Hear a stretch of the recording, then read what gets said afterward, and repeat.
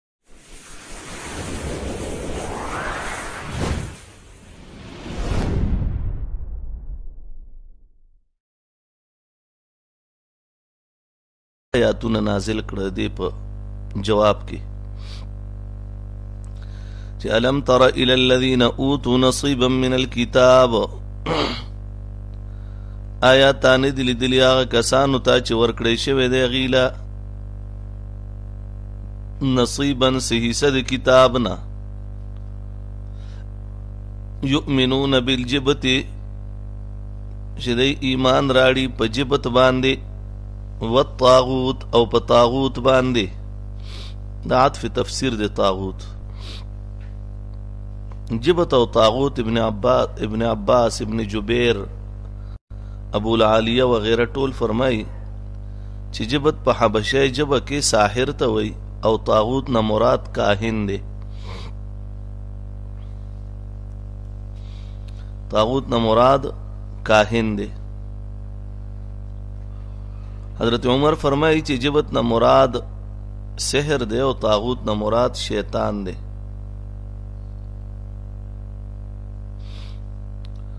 مالک ابن انس فرمایي چې الله نه علاوه د کوم سیز عبادت څوک کوي نو هغې ته طاغوت ویل شي نو فرمایي چې الم ترى آیتان دي لیدلي هغه کسانو ته او تو نصیبا من الكتاب چې غیله ورکړې شوی د سیسه د کتاب نه یؤمنون بالجبت والطاغوت اغه ایمان راړي په جبت باندې او په طاغوت باندې ويقولون للذین کفروا هؤلاء وای هغه کسانو ته چې کوم کافران دي یعنی مشرکانو ته وي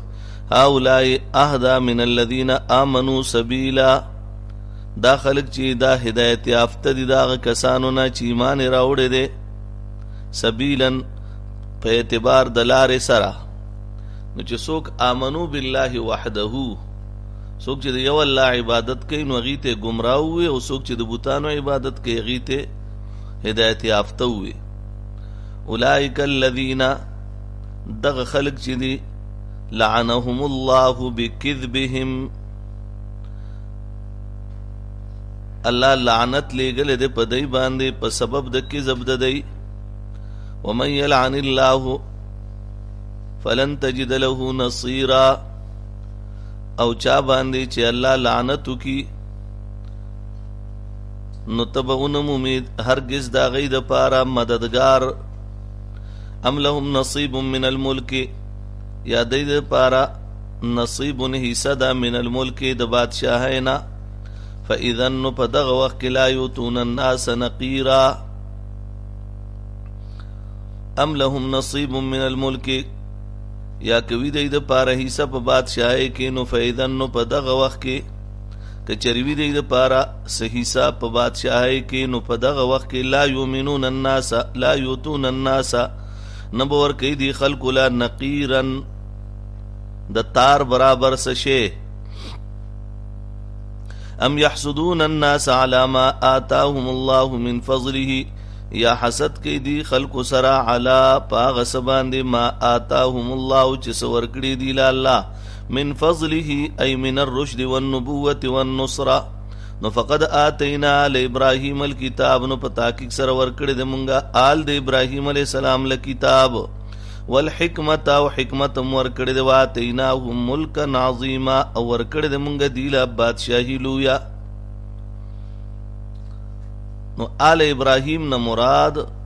یو قول خو دا دی چې حضرت داود علیه السلام او حضرت سلیمان علیه السلام ته مراد دي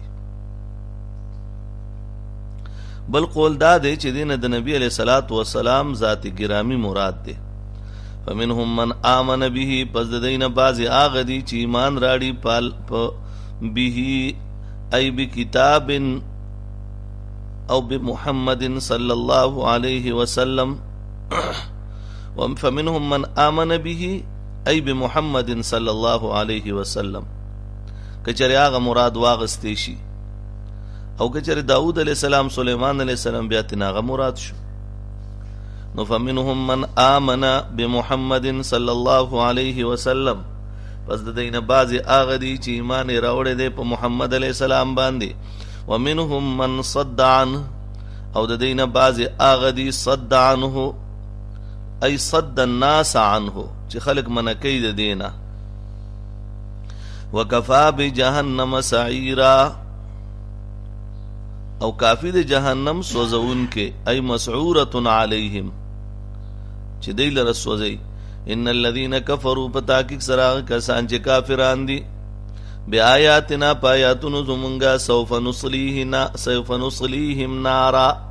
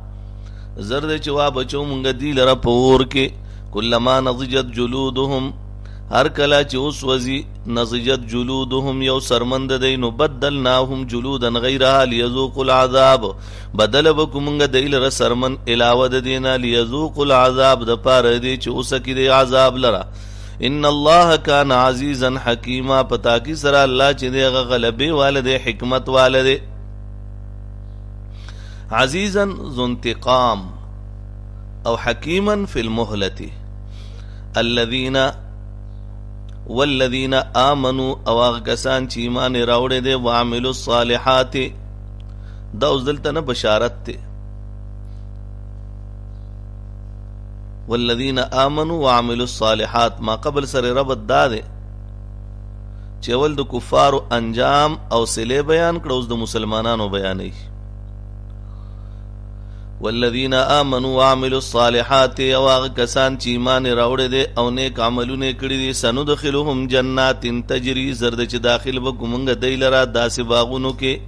داسې جنتونو کې تجری من تحت الانهار چې بهیږي به د هغې نه لاندې نهرونه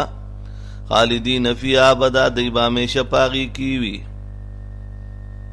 لهم فی ازواج مطهره دی دپاره په دې کې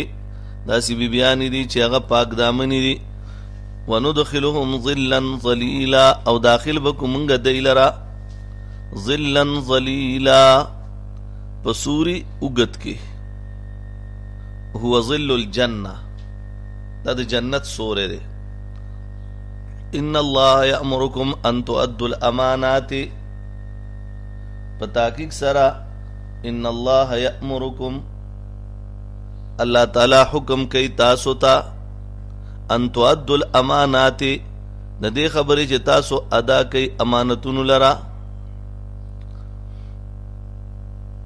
ان تؤدوا الامانات د دې شان نزول د عثمان بن طلحه هغه واقعا وا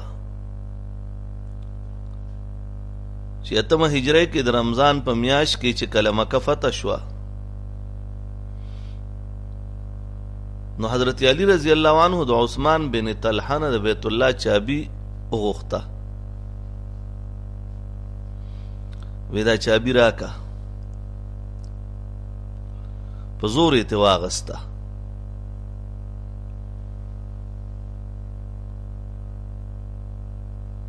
هغه حضور علیه الصلاة والسلام ته شکایت وکړ حضرت علی رضی الله عنه ورته فرمایل وی الله فرمایلی دی چې ان اولیاءه الا المتقون او دې خو مشرک دی نو ان اولیاءه الا المتقون ندی ملګری دا الله مگر هغه متقیان دی او دا مشرک دی ماتی چابی زکه اغسته ده نبی علیہ الصلات والسلام قران دی آیت تو قتل چې چونکه د په خاندان کې دا چابی را روانه ده نو غ چابی د حضرت علی نه واغسته او عثمان بن طلحه له ورکړه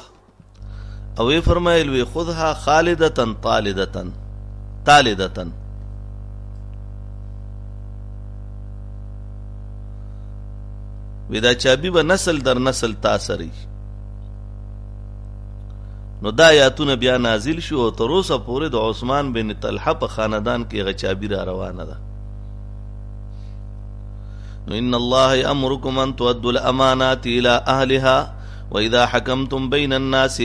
او کله چې تاسو فیصله وکړئ په میانځ د خلکو کې اذا قضیتم بین الناس ان تحکمو بالعدل دا چې فیصله وکړئ تاسو په انصاف سره ان الله نعم ما یعظکم به الله تعالی خنسیت کوي تاسو ته تا په عدل سره به ای بالعدل ان الله کان سميعا بصيرا پتا کی سره الله چې دې سميعا لاقوالكم بصيرا بافعالكم او چې کله دا چابي ورکړه نو هغه هغه وخت کې کلمه ویله بل عثمان بن طلحه یو بل خبرې تم دغه وخت کې سوچ لاړو چې کله امام الانبیاء د دین مخ کې د عمرې په موقع باندې راغله نو د تیوی چې دوه رکعات مونږ پکې کوم د چابي ور نکړه امام الانبیاء صلی الله علیه وسلم ورته دا ارشاد فرمایلی و چې که داسې وخت راغی چې دا چابي ما سره وي نو ته به بیا څه کوې هغه دې خبرې ته سوچ چې دا خبره خو نبی علی سلام بالکل د قسم پرسه په حالاتو کې کړې و یا ایها الذین نو دا ان الله یامرکم چې دلته نه د صورت دویمه حصہ چالو کیږي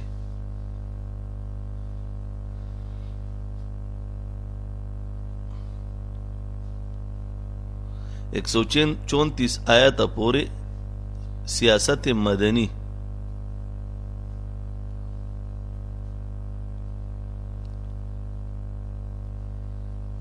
اوس په دې آیت کې چې دینو دا اته احکام دي ړومبی حکم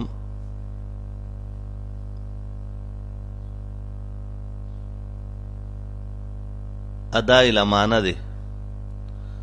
دا د امیر د پاره دی چې دی به امانت ادایګي کوي او دویم حکم پکې د عدل دی ان الله یامرکم ان تؤدوا الامانات الى اهلها واذا حكمتم بين الناس ان تحكموا بالعدل دا دوه احکام دي پکې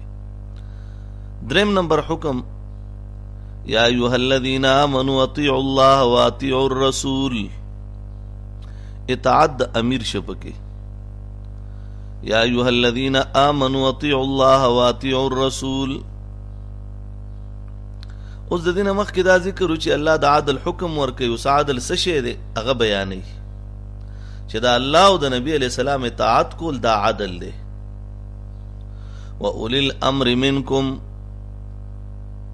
نو اطاعت کوي د الله او د رسول دا غو اولی الامر منکم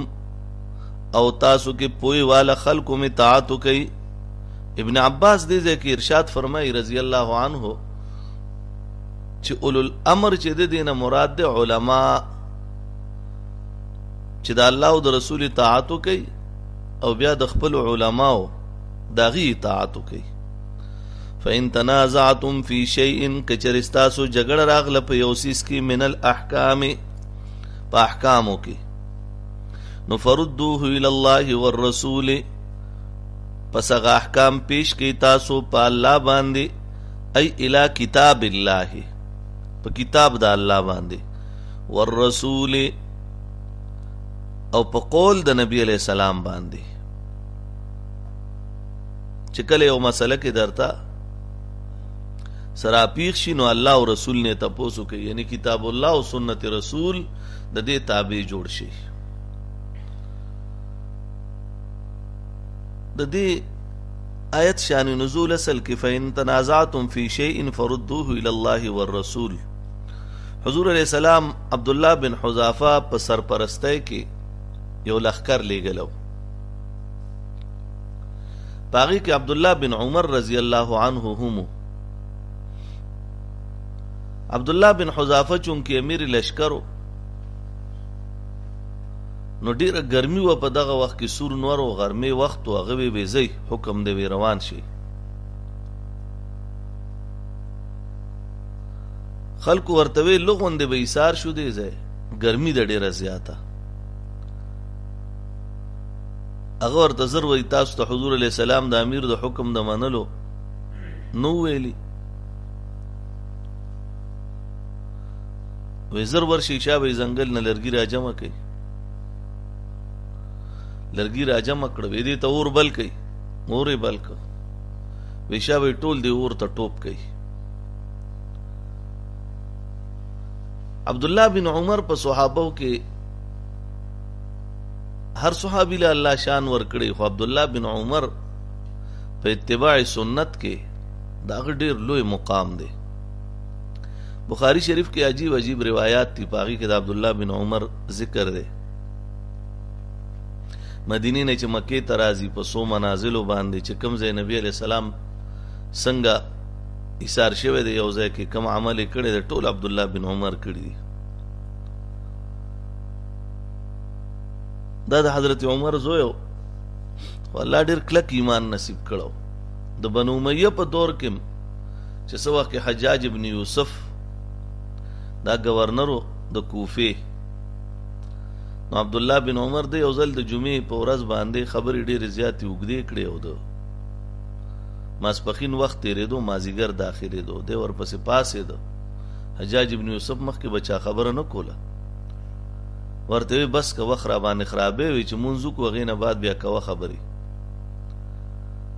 هغه په دې خبره چې په دې ټولو خلکو کې خدا عبدالله بن عمر دی او دته غږم نشم کوله دا د حضرت عمر زوی دی دی خو چې کومه خبره وکړي ټول خلک د ده ملګري دي نو چې نور هېڅ طریقه ونه شوه نو په یو غشي کې د غشي په نوکه باندې زهر ولګول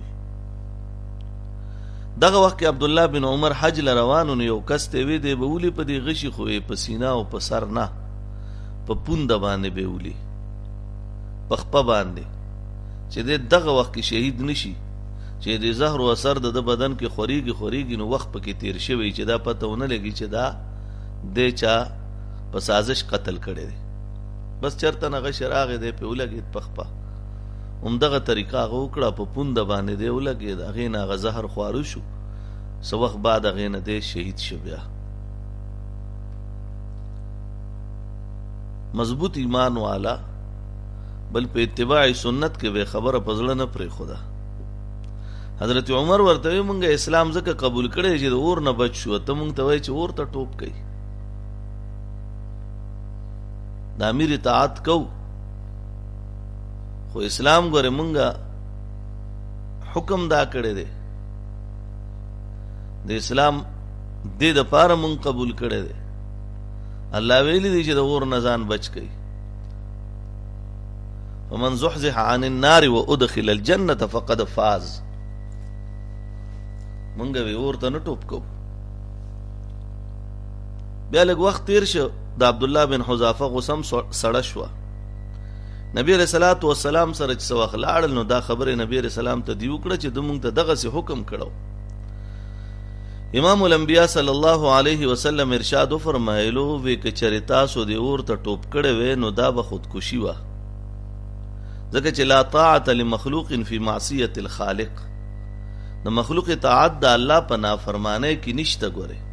که حکمران غلط حکم کوي نو غلط حکم به تاسو نه منئ امیر که غلط حکم کوي هغه به بیا نه مني نو فإن تنازعتم في شيء فردوه إلى الله والرسول ان كنتم تؤمنون بالله واليوم الآخر کچری تاسو ایمان راړی په الله او په ورځ د آخرت باندې ذالک خیرن دا بهتره ده و احسن تاویلا او خد په اعتبار د انجام سره الم تر الى الذين ایا ته نه وینې هغه کسانو ته یزعمون چې هغوی ګمان کوي یعنې دعوه کوي انهم آمنو بما انزل الیک په تحقیق سره هغه ایمان راوړی دی په هغه قرآن باندې کوم چې په تا نازل کړی شوی دی دا چې دا د حضرت عمر رضی الله عنه او د بشر نوم منافق هغه واقع ته اشاره ده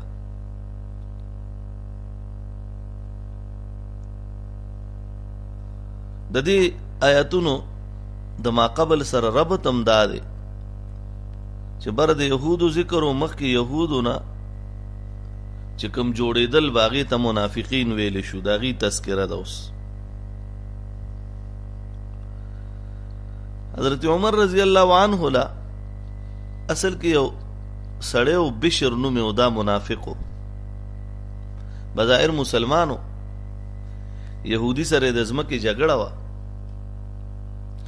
فیصله د پاره نبی علیہ الصلات والسلام لاړل نبی علیہ السلام چې گواهانو ته وکتل نو د يهودي په حق کې فیصله وکړه چې د ازمکه ده ده اوس دی منافق ته خدا علم او چې حضرت عمر د کافرانو باره کې ډیر سخت دی اشداء علی الکفار قران هم دغه صفت ذکر کړي د صحابه دی ورته وی چې لغوند عمر سره نزو چې هغه زمونږه فیصله وکي هغه ورته وی نبی له سلام وکړه نو بیا هل کې د منافق ورته اول دام ویلو چې کعب بن اشرف سره ور شو نبی له سلام سره سکو چیزو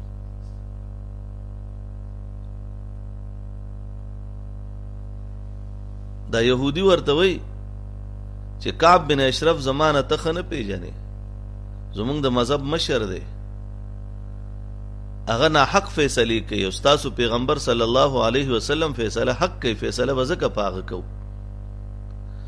نبی علیہ السلام د يهودي حق کې فیصله وکړه گواهان غسرو منافق ورته وي حضرت عمر سره ځو ویزه ټیک ده چې ورشو حضرت عمر مخې ته دا منافق کې ناسو بیان شروع کړ چې دا يهودي دی او دا سزمکه دا او دا چلې دا چلې ټول بیان وکړ حضرت عمر يهودي ته وای خطو وایا هغه ورته وای زه خو نور سنوي ما خو صرف دومره ویل غواړم چې ستاسو نه مخکې مونږ امام الانبیاء لتلی او امام الانبیاء صلی الله علیه وسلم زما حق کې فیصله کړې ده حضرت عمر کور ته لاړو تورې راواغسته او د منافق نه سر ووالو ورته وی چې د نبی علیه صلوات و سلام د فیصلې نه بعد څوک عمر سره راضي نو دینه خو معلومیږي چې غ عمر له نبی علیه السلام فوقیت ورکې معاذ الله نو بیا د هغه خلکو فیصله چې ده دا زما جبه نه کوي زما توره د هغه فیصله کوي نو علم ترا آیات نوینه هغه خلکو لره یزعمون چې دعوه کوي انهم امنو چې په تحقیق سره د ایمان راوړې دي بما انزل الیک په قرآن کوم چې پتا نازل کړي شوی دی وما انزل من قبلک او په کتاب په تورات باندې کوم چې مخکې ستانه نازل شوی دی یریدون د اراده کوي تحاکمو الی الطاغوت د دې خبرې چې فیصلو کې د دی ان یتحاکمو چې فیصله یو سي دی الی الطاغوت طاغوت طرف ته یعنی الداعی الی الطغیان کفر طرف ته بوتلو والا گویا کعب بن اشرف ته مراد دی وقد امروا او په تحقیق سره حکم کړی شوی دی ته ان یکفرو به دا چې انکار وکي حکم خو ورته دا شوی دی چې د طاغوت انکار به کوي ويريد الشيطان او اراده کوي شیطان یعنی کعب بن اشرف دې ده کې شیطان نه مراد څوک دی کعب بن اشرف دی ان يضلهم ضلالا بعيدا دا چې گمراه کی دی لرا په گمراهی لري سره و اذا قيل لهم تعالوا کله چې ویل شو دی ته چې راشي تاسو الی ما انزل الله هغه کتاب طرف ته کوم چې الله نازل کړي دی ویل الرسول او رسول طرف ته نو رایت المنافقین ویني وت منافقان لره يسدون عنك صدودا اعراض بکې دی یورزون عن حکمک عن امرک اعراض بکې دی استاد امرنا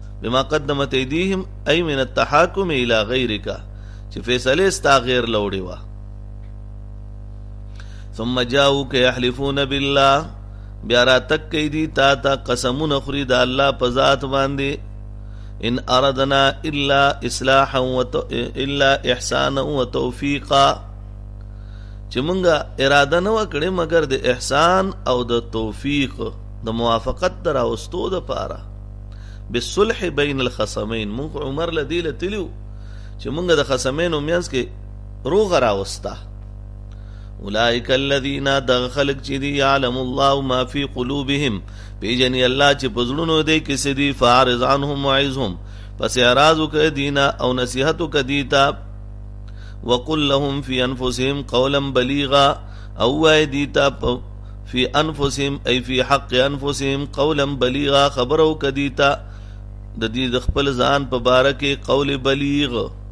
مؤثره خبره ورته وکړه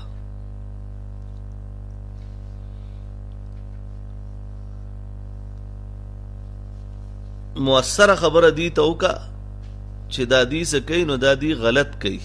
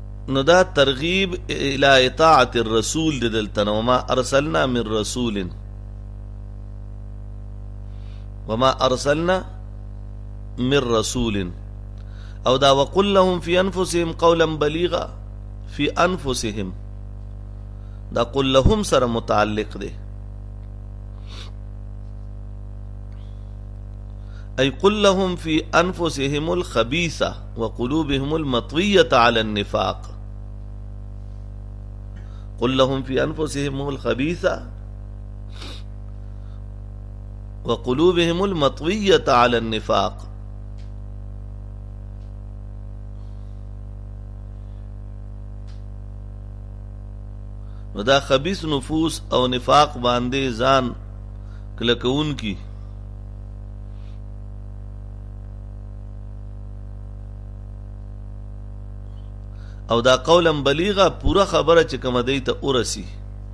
او په دې کې اثر انداز وي وما ارسلنا من رسول مخکې الله فرمایي که جرب الفرض حضرت عمر فیصله کړم وي نو په نبی علی السلام به دغه فوقیت لازم راته نو نبی علی السلام خو د امت مطاع دی نو بیا به مطاع نو مطیع به ترې نه جوړېده خو نبی علیه السلام د الله مطیع دی او د مخلوق مطاع دی وما ارسلنا من رسول نه لګلې مونږه رسول لره الا ليطاع باذن الله مگر د پاره دی چې دا غي اطاعت وکړي شي باذن الله اي بتوفيق الله په توفيق د الله سره ولو انهم ظلموا انفسهم کچری په تحقیق سره د ظلم کړي وي په خپل ځانونو باندې بالتحاکم الى الطاغوت نو جاو کار اتک به کړو تا ته فاستغفر الله پس بخنه به غوښتي ودا الله نه واستغفر لهم الرسول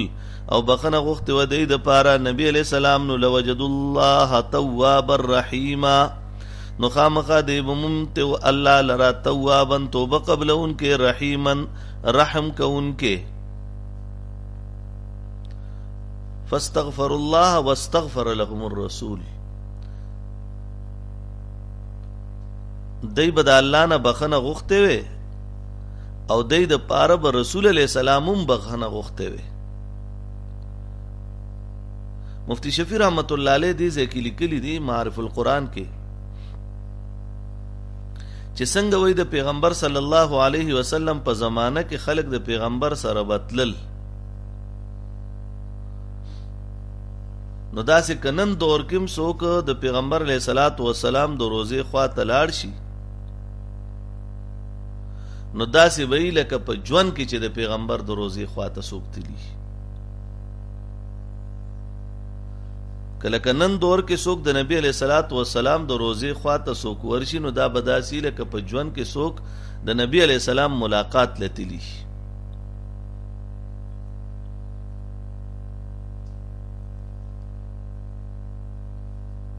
یعنی پیغمبر علیه صلات وسلام ننم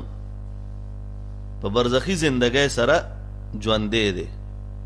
بحر محیط کې دا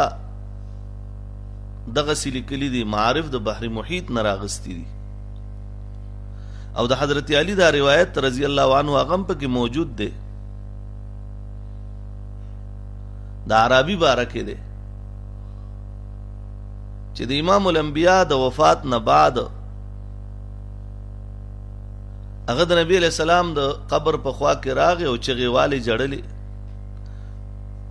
او د قبر په خوا کې وي ما د پاره مغفرت وغواړه موجودو خلکو گواہی ورکړه چې د روزه اقدس نه आवाज راغې چې قد غفر لك په تحقیق سره تا ته بخنه وکړې شو مدارک هم دا قول نقل کړي د امام ابو البرکات نصفی رحمت الله علیه بحر محیط هم ذکر کړي دي معارف هم ذکر کړي دي ګویا مونږ ناقلین یو دې ځای کې ناقلین اوس دې ځای کې ملګري تپوسو کی چې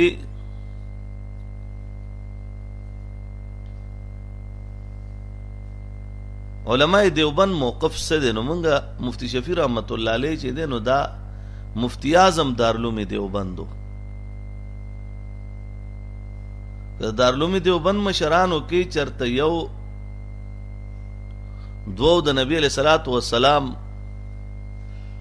د وفات نه بعد د حیات برزخی په تعلق د روح مع جسد عنصری سره د بعضو موقف دی کې چرته د یو یا د دوو بدل مینو د یو او د دوو چې دی هغه د جمهور مقابله کې نشي راتلی دویمه خبره دا چې ملګری وای چې مولانا منظور مینګل صاحب غوندې قابل انسان وای هغه وای چې تاسو د نبی علیه الصلاۃ والسلام باندې مرګ راغلی دی او کنه دی راغلی نو طلبه جواب ورکړي چې مرګ خو پر راغلی دی مرګ خو نبی علیه السلام باندې راغلی دی وی بیا غ تپوس کوي چې یاره یا لږ وخت دی یا ډیر وخت دی خو تاسو خو دې قائل یی چې د لږ وخت لپاره مرګ راغلی دی طلبا وایي چې او نو هغه ورته بیا دا سوال کوي چې کله مرګ راغلی دی نو میتون دا لفظ پې ټیک کیږي بالکل ټیک کیږي میت مرګ ته سامان مرګ راشي هغه ته خو مړی ویلی شي میت ویلی شي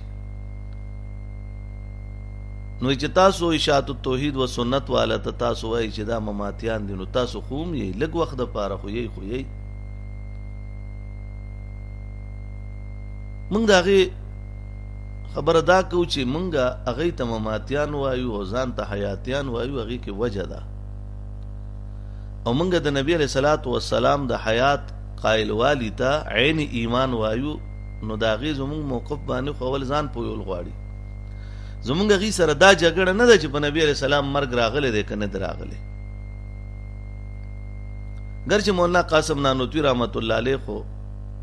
د مرګ راتلو هم قائل نه دی ابي حيات کې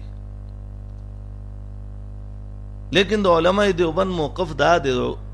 جمعي علماء دیوبند چې مرګ راغلی دی دا جګړه خو نشته چې نبی رسول سلام باندې مرګ نه راغلی زمونږ خدا جګړه نه دا غي سره مونږ خو د دې قائل یو چې په نبی علی سلام مرګ راغلی دی جنازه شوه ده چې په نبی علیه السلام مرګ نه وی راغلی نو خلافت به ابوبکر ته ولې ملاوېدو بیا لیکن مونږ وایو دا مرګ په اعتبار د دنیایي ژوند سره راغلی دی او چې څنګه دنیا کې مرګ راغې او د دنیا د مرګ نه بعد د نبی علی السلام برزخی زندگی کله چالو شو نو دغه بیا ژوند شو برزخي زندګي چالو شوه نو دغه برزخي ژوند دویم ژوند چالو شوی دی موږ وایو عالمونو کې فرق دی لکه ما نه یو کس تپوس وکړ ما ته وایي چې د نبي علیه السلام څومره عمر و ما ورته وی درې شپېته کاله و څلوېښت کاله قبل النبوت و درویشت کاله بعد النبوت و په دې درویشت کې دیارلس کاله مکي زندګي وه لس کاله مدني زندګي وه ما ته وای نه وای صحیح سوچ په وکړه جواب باندې خپل لږ غور وکړه ما ورته بیا وی مې زمونږه خبره ټوله دغه سي ده څنګه چې مې درته وې چې نبی علیہ الصلوۃ والسلام برزخی زندگی چې وا دا ژوند چې په دنیا کې هغه درې شپېته کاله و هغه ما ته وایي ښه صحیح میاو نو ما ته وی وی نه کنه ته ورسره وی دا سوار لس نیم سوه کاله نور یو ځای که تاسو خو د ژوند قایل یئ ما ورته مې ستا د پلار څومره عمر وی او یا کاله مې مړ دی وی او مړ دی لږه موده وشوه مې لکه او یا به نو وی نه او یاو موږ کو اویا به نو لس میاشتې به پې د پاسه و وی نه پورا اویا و شناختی کارډ مې وله وکتو په هغې کې اویا کاله د هغه اویا کاله بعد ډت شو نو ما ورته وی مې بیا خو د لس میاشتې پې د پاسه یو ځای که نو ما ته دا پکې کم ځای نه راغلی مې ولې مې دی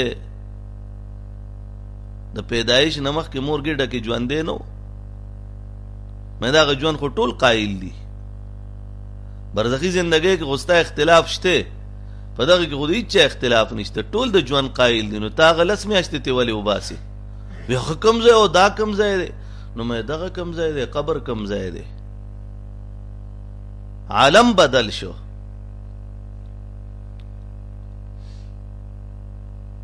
بیا زر وایي دا داسې جواب څوک ورکوي نو مې نه بس مټیای به مې دراوړو چې مبارک شه ډېره ښکلې خبره دی وکړه صورته سوچم په کار یو سیسته نو دې ځای کې مولانا منظور منګل صاحب زمونږه قابل قدر دی لیکن کې دې شي هغه ته دا دی وخت کې دا علم نه چې زمونږ دی سره په سبا نه دی وخت کې جګړه ده زمونږ دي وخت کي جګړه دي سره په دي وخت کي هغه وخت نه چې وخت نبی علی السلام کوم وخت کې وفات شوی دی اوس دی وخت کې زمونږ د حیات او د ممات جګړه ده هغه خدای نو دا خود 1800 دا 1474 1374 اوس ویم دی نو تیره سو چورتر چې و په تیره سو چورتر کې دا جګړه جوړه شوې ده دا د نبی علیه صلات و سلام د وفات نه بعد دیار له سوا او سلور او یا کال بعد دا جګړه جوړه شوې ده د ملتان په سټیج باندې دا غي نمخ کې سوکم د حیات النبی صلی الله علیه وسلم په باب کې د چا مخالفت نو د چا قول خو خی یو قول حضرت شیخ رحمت الله علیه د ډاګی یو قول ذکر کړو چې په دې دیارلس نیم سوه په او کم څوارلس سوه کال کې یو سړی چې و د هغه یو قول وو نور چا اختلاف نه دی کړی دې خبرې سره نو زمونږ جګړه د نبی علیه صلات وسلام د وفات په وخت کې د نن نه څوارلس سوه څه د پاسه کاله مخکې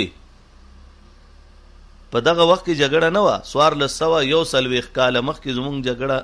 په دغه خبره کې نه ده چې هغه وخت مرګ راغلی دی که نه دی راغلی. د هغې خو مونږ قایل یو قرآن وایي انک میتون و انهم میتون مونږ خو دې آیت انکار نه دی کړی او نه دی الله دا توفیق راکوي. زموږ خو د دغه مرګ نه بعد چې کوم ژوند چالو کیږي په دغه باندې جګړه ده او په دغه باندې موږ هغه موقف نه دی اختیار کړی کوم چې مخالفینو اختیار کړی دی موږ خو مخالفینو باندې د گمراه ویلو یا غی ته زمونږ بعضې ملګرو یا مشرانو د کفر نسبت هم کړي نو هغې کې وجه د عذاب قبر انکار دی هغه په دی وجه کړی دی چې د عذاب قبر انکار کړی دی دی وی عذاب روح ته ملاویږي ثواب هم روح ته ملاویږي نو موږ وایو لا تحسبن الذين كيو لا تقول لمن يقتل كي په دوی مسی پاره کې بدی کې موږ تفصیلی بحث کړی دی اوس هغه بحث طرف ته نو زوغال ته وګورئ ګنې ما یو حواله په لا تحسبن الذین قتلوا کې د تسکین الصدور هم ورکړې وه تسکین الصدور حواله موجوده وه پاغي کې حضرت زمونږ استاد مکرم او شیخ الکل والکل فی الکل حضرت شیخ سرفراز خان صفدر رحمت الله علیه زمونږ چې کوم مناظرین هم وي نو د حضرت شیخ صفدر رحمت الله علیه کتاب مخې ته ږدي وي په دې کې چې څه لیکلي دا زمونږ عقیده ده د هغه د ارشاداتو مطابق مونږ خپل اقوال ذکر کړي دي نو جاؤک فاستغفر الله واستغفر لهم الرسول لوجد الله توابا رحیما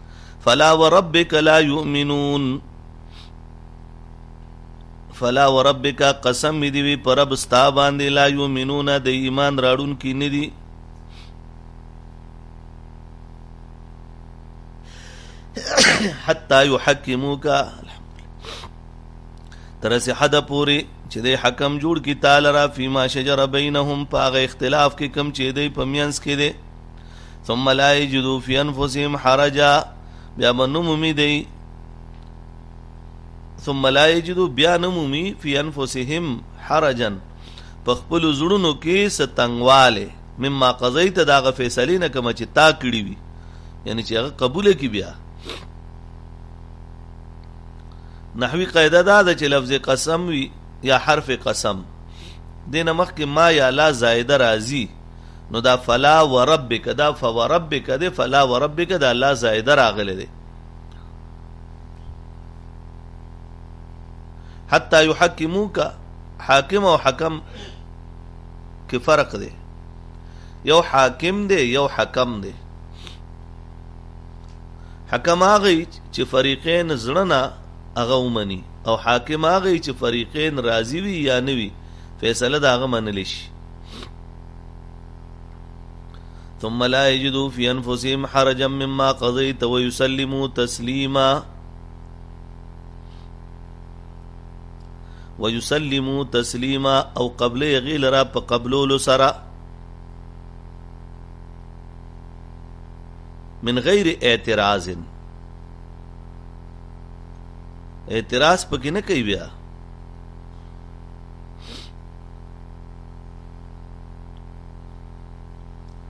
بس چې د نبی علیہ السلام کوم خبره هغه ورته قبولې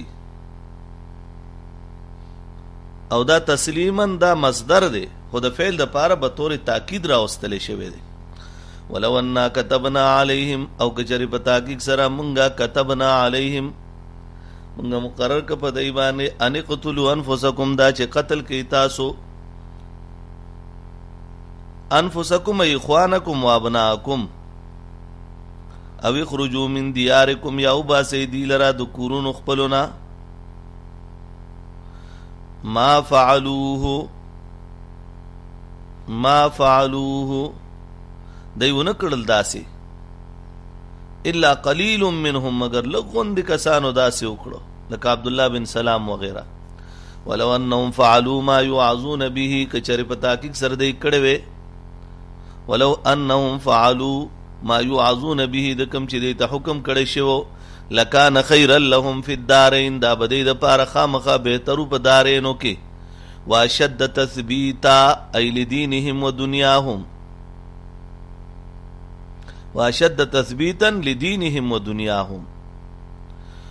واذا او په دغه وخت کې لاتیناهم من لدنا اجرا عظیما خامخا ورکړی به مونږ دوی له د خپل جانب نه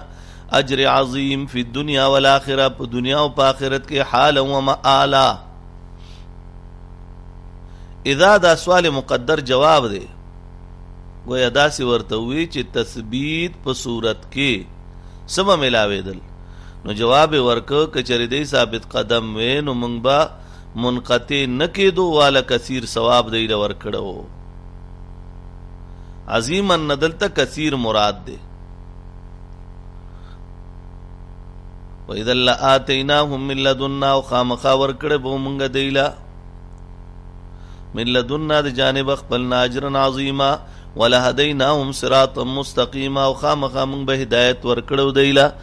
صراط مستقیم طرف ته ومن یطع الله والرسول او چا چې دلته نو بشارت ملاویږي چا چې اطاعت وکړ د الله او د رسول داغه فولائک مع الذین پس دغه خلق به دغه خلق ملګری انعام الله چې انعام کړ دی الله تعالی پاغي باندې من النبیین والصدیقین د انبیاء او صدیقین او شهداء او صالحین او د شهداء او صالحین او وحسن اولئک رفیقا وحسن اولئک رفیقا او بهتر دغه ملګرتیا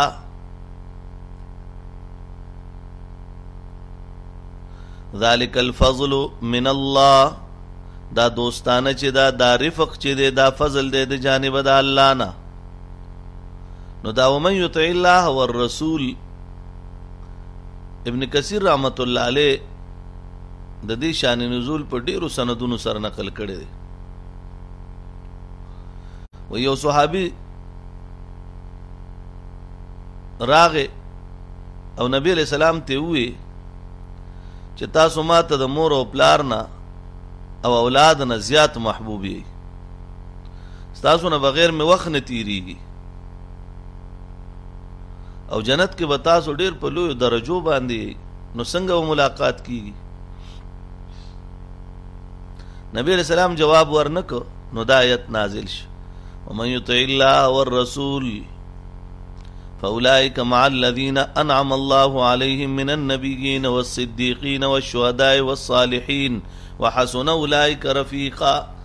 او ذالک الفضل من الله دا فضل د الله د جانب نه وي وکفا بالله علیما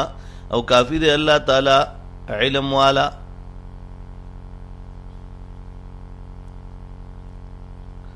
یا ایها الذین آمنو خذوا حذرکم دا اوس بل حکم دی د تهیه القتال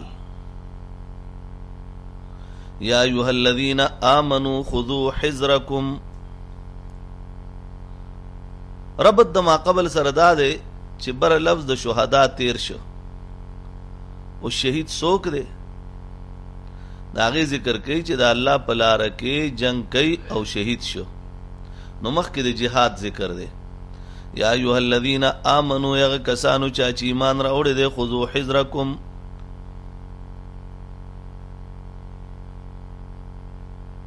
واخلی تاسو خپل وسلی فنفرو ثباتن وزی تاسو ډلی ډلی ثباتن ډلې ډلې او انفرو جميعا یا ټول په یو ځل باندې وځي یا ټول په یو ځل نو ثبات او جميعا دواړه حال دي يا په دې حال کې وځي چې ډلې ډلې یي د لسو نه بره چې کوم جماعتي وړې وړې ډلې یا ټول په یو ځل جمع غفیر کې وځي و ان منکم لمن ليبطئن او په تحقیق سره تاسو نه و ان منکم تاسو نه لمن ليبطئن هغه کسان هم دي چې واپس کیږي به لکه عبدالله بن اوبی او د هغه ملګري فإن اصابتکم مصیبة نو و ان منکم لمن دی من نه مراد عبد الله بن ابی دی رئیس المنافقین فإن اصابتكم مصیبه کچری ضرور سیږي تاسو ته تا یو مصیبت نو قال قد انعم الله علیا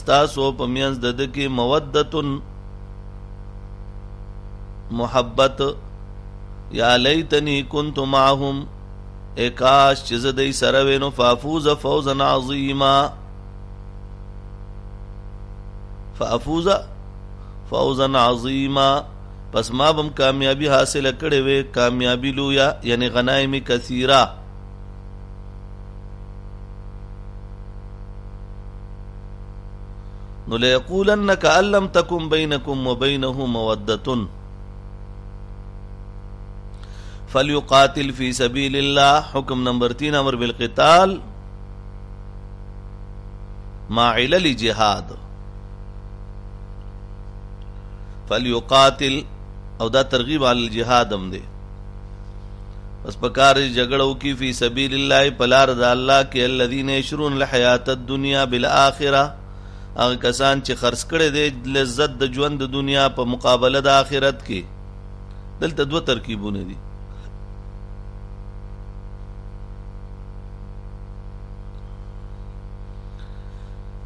تفسیر قرطبی کې دي چې الذين يشرون فاعل له د فليقاتل بس په کار چې جګړه وکي هغه کسان يشرون الحیات الدنیا بالاخره یشرون د ازدادو نه دی یبيعون په معنی کې دی دویم ترکیب دا دی چې فاعل چې دی هغه من دی ومن یقاتل فی سبیل الله من او الذين يشرون مفعول له مطلب بوي چې کوم خلکو د قلیل مال په عوض کې خپل نفسونه خرڅ کړو هغه قتل کوي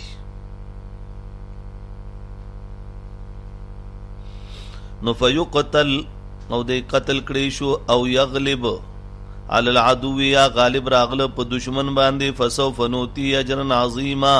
نو فسوف پس نږدې دی چې ورب کومنګ دیلا اجر عظیم وما لکم مؤمنان ته د جهاد ترغیب دی دلته نه د فقه مشهور کتاب فتاوا سراجیه او عالمگیری کې دي چې په مشرق کې یو مسلمانه خزا د کافرانو په قید کې وي نو د اهل مغرب باندې د دې خلاصول دا لازم دي واجب دي د کافیه صدیقه چې ده وما لکم تاسو له څه چل شوی لا تقاتلون فی سبیل الله چې تاسو جګړه نه کوئ په لاره د الله کې قتال نه کوي په لار د الله کې والمستضعفين من الرجال والولدان او مستضعفين کمزوري ګڼل شوی د سړونه او د ماشومانو نه الذين يقولون مکه کې چې پاتې شو والمستضعفين من الرجال والنساء او د خزونه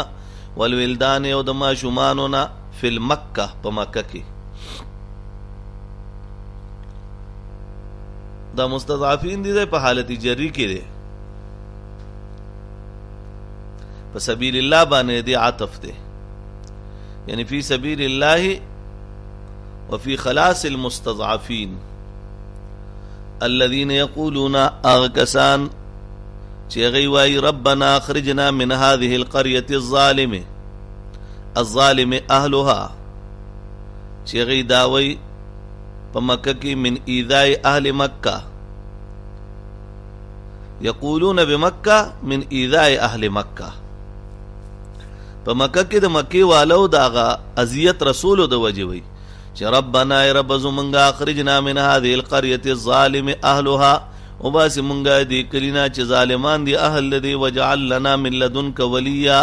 او ګرځو مونږ د پاره د خپل جانب نه من لدنک ولیا کارساز وجعل لنا من لدنک نصير او ګرځې مونږ د پاره د خپل جانب نه مددگار الذين آمنوا هغه کسان چې ایمان راوړی دی یقاتلون فی سبیل الله جګړه کوي په لار د الله کې والذین کفروا هغه کسان چې کافران دي یقاتلون فی سبیل الطاغوت دی جګړه کوي په لار د طاغوت کې فقاتلوا اولیاء الشیطان پس جګړه وکړئ تاسو ملګرو د شیطان سره ان کید شیطان کان ضعیفا په تحقیق سره تدبیر د شیطان چې دی کان ضعیفا دا به کمزور وي په مقابله نصرت الله په مقابله د نصرت د الله تعالی کې الم تر الى الذين قيل لهم كفوا ايديكم ما قبل سر ربط دا دی چې بر د جهاد ذکرو په دې سلسله کې چې کله جهاد فرض نو خلکو د جهاد آرزو کوله چې فرض شو نو خلک بیا یریدل خو د خلکو نه مراد څوک دی منافقین د امام رازی د قول مطابق دا منافقین چې کم به یریدل او تفسیر خازن دام لیکلی دی چې دا د مؤمنانو غ طبعی روا او دا د ایمان منافی نی لسوک په یو لار ازي او ناسا په دې چغه کړه ټوپ وای نو دا دې یریږي خو نه خو طبعی را ده الم تر الى الذين آیاتان دلی دلی هغه کسانو ته قیل لهم کفو ایدیکم کله چې ویل شو دیتا چې کفو ایدیکم چې منه کوي تاسو لاسونه خپل عن القتال لزعفکم د قتال نه د ضعف د وجه مکی زندگی و کمزوری یې لا نو ځکه ځان منی کوي واقیم الصلاه ګور مکی زندگی کې منځ روجا زکات حج په دې زور ورکړې شو احکامو اقیم الصلاة و آتو الزکا قائم کئی منز لرا ورکی زکاة فإنهما کل جهاد په دې وخت کې دا پشان د جهاد دي فلما كتب عليهم القتال پسر کله چې فرض کړی شو په دې باندې جنگ قتال اذا فريق منهم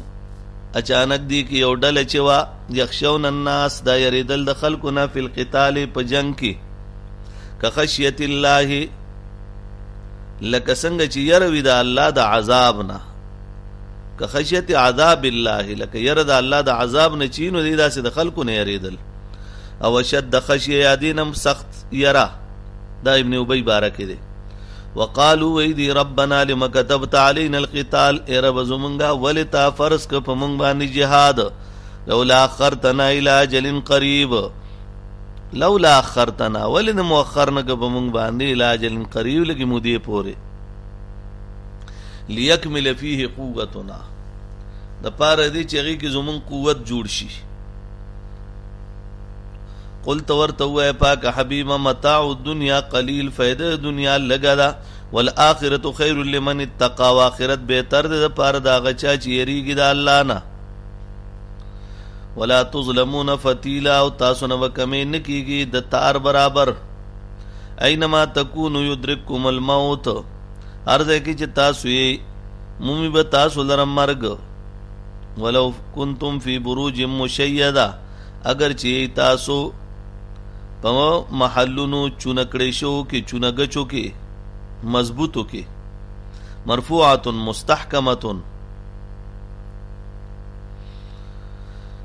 که چېرې په هغې کې هم وایي نو هم به په تاسو مرګ راځي حافظ ابن کثیر رحمت الله علیه د دې آیت ذیل کې د ابن جریر ابن حاتم مجاهد په حواله سره یو عجیب واقعې ذکر کړی دا یو سړی په ځنګل کې دی یو خزي غلامو اخزله به خدمت کو یو ځل دې کمرې ته دننه شي، ښځه په حالت د امید کې وه، هغې ته د اور ضرورت و، دی ولېږئ ورشه اور راوړه. دی اور پسې لاړ،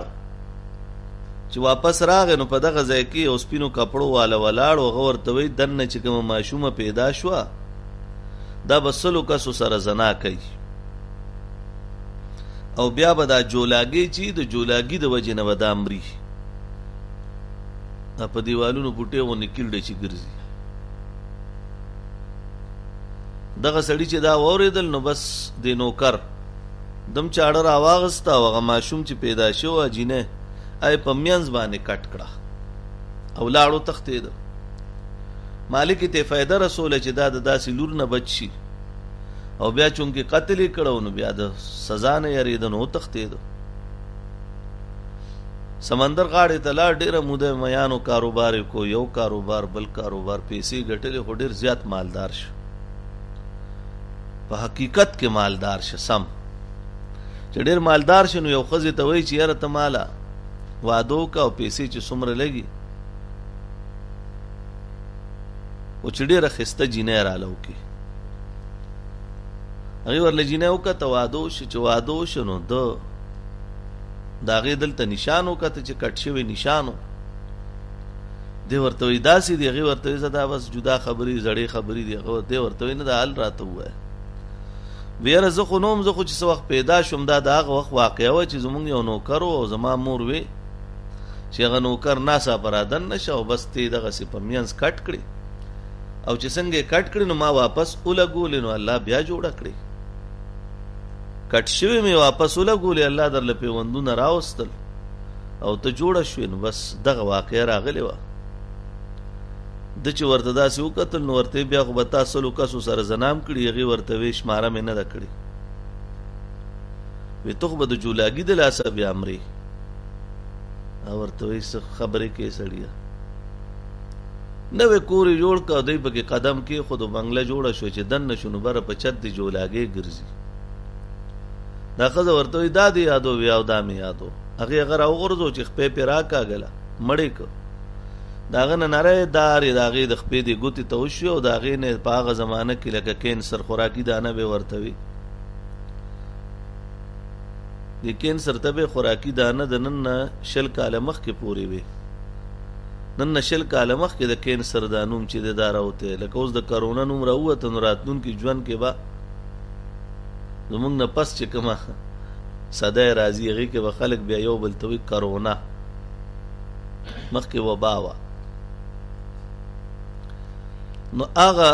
په ولګېد مرض و ورو ورو بس دغه کېده او د هغې نه مړه شوه نو قرآن وایي چې ولو کنتم فی بروج مشیده اګر چې تاسو په برجونو کې په محلاتو کې حصور مشیده مرفوعتن مضبوطو کې تاسو پراته مستحکمتن نو چې مرګ راځي به صاحب در باندې راځي مرګ نه شي بچ کې دي بروج جمع د برج ده د برج معنی د قله د مشیده دو معنی راځي یو معنی د چونه گچ نن زمانه کې داسې مټ می مټي هغه زمانه کې به چونه ګچ هغه به مضبوط جوړېدو اوس هم دې زړو کورونو کې کمی ګټې دي چونه ګچ دي دا او او بل د مشیده بل معنا د اوچتوالی هم راځي چې اوچت قلاګانې وي څوک ورته نشو دنه کېدی وان تصبهم حسنه که چری ورسیږي هغه ته یو نیکی نو یقول هذه من عند الله نو بیا به وی چې دا د جانب د الله نه دی نو تو ورته وای چې کلاهما من عند الله دواړه د جانب د الله نه دي تو ان تصبهم حسنه یقول هذه من عند الله په مدینه منوره کې منافقین چې ونو چې کله خوشحالي به ورته نصیب شو نو دا به وی چې دا د الله د طرفه ده او چې کله بدحالي راغله نو حضور علی السلام ته به منسوب کوله الله ورته وی دی ته وای چې قل کل من عند الله نو دی آیت نه معلومیږي چې خوشحالي او بدحالي ټوله د الله د جانب نه ده او په دې سوره نساء کې یو کم اتیایم نمبر آیت چې ده اناسی نمبر آیت 79 داغه نه معلومیږي چې راحت د الله د جانب ده او بدحالي په خپل د بنده د طرف ناراضي نو ګویا دواړو آیاتونو کې تعارض راغی د دې جواب دا دی چې په آیت اولا کې اجمال دی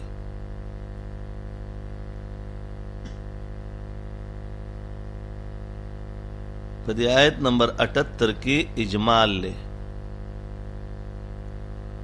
او آیت نمبر 79 کې تفصیل دی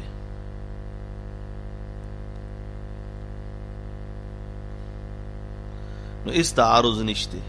تفصیل دا دی چې آیت اولا کې دا ویل شي خوشحالي بدحالي هر یو سیس چې دا خلق او ایجاد د الله د جانب نه دی البته خوشحالي الله تعالی بغیر د واسطې د فعل نه بغیر د واسطې نه د خپل فضل نه ادا کوي او بدحالي په واسطه د معاصيو ادا کوي. خوشحالي بغير د واسطې نه خپل فضل نه ورکوي او بدحالي چې وي نو دا په واسطه د معاصيو باندې ورکوي خلکو له.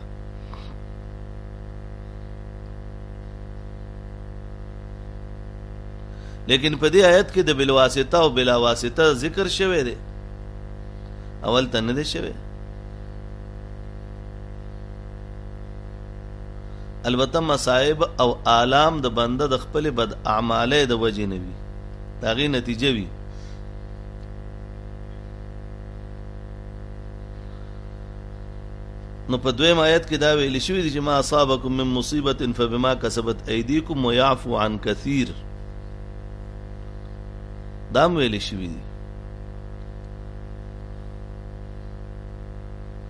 نو ان تصبهم سیئه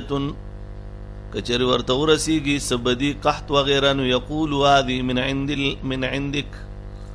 نو وایي دا ستا د طرفه دي ستا په وجه معاذ الله سپیرو یو مونږه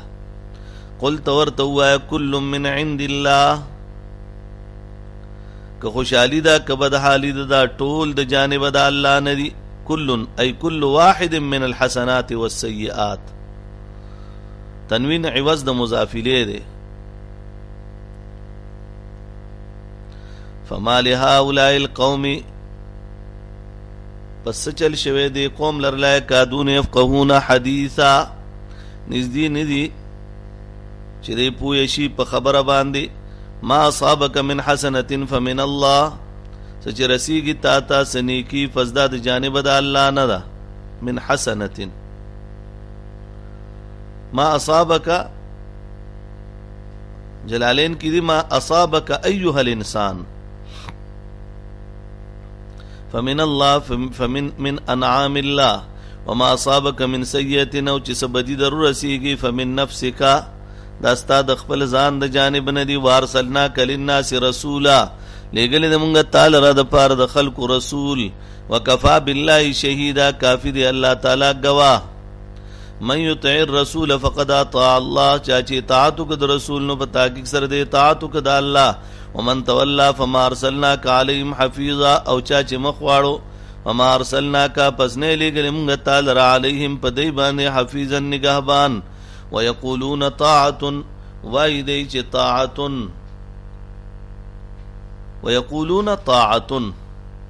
دی وایي چې مونږ اطاعت کوو په ظاهر کې داسې وایي فیدا برزو من عندك فیدا خرجو من عندك کله چې وزي ستا د مجلس نه نو بیت طائفه منهم غیر التي تقول بیت طائفه منهم نو شپه تیره کی یو ډله دینا غیر الذي تقول دروغ وی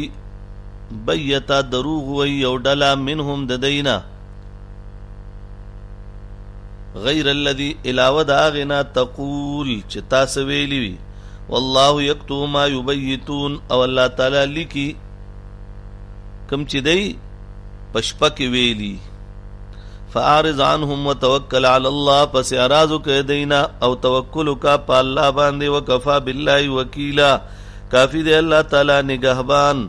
افلا يتدبرون القرآن آیا پس دی تدبر نه کوي په قرآن کې ولو کان من عند غیر الله او کچری وی دا من عند غیر الله د جانبه د غیر الله نه لوجدو کچری دا قران وی د طرفه د غیر الله د دې ما قبل سره ربط دا دی تفسیر کبیر کې دي چې بر منافقین ذکرو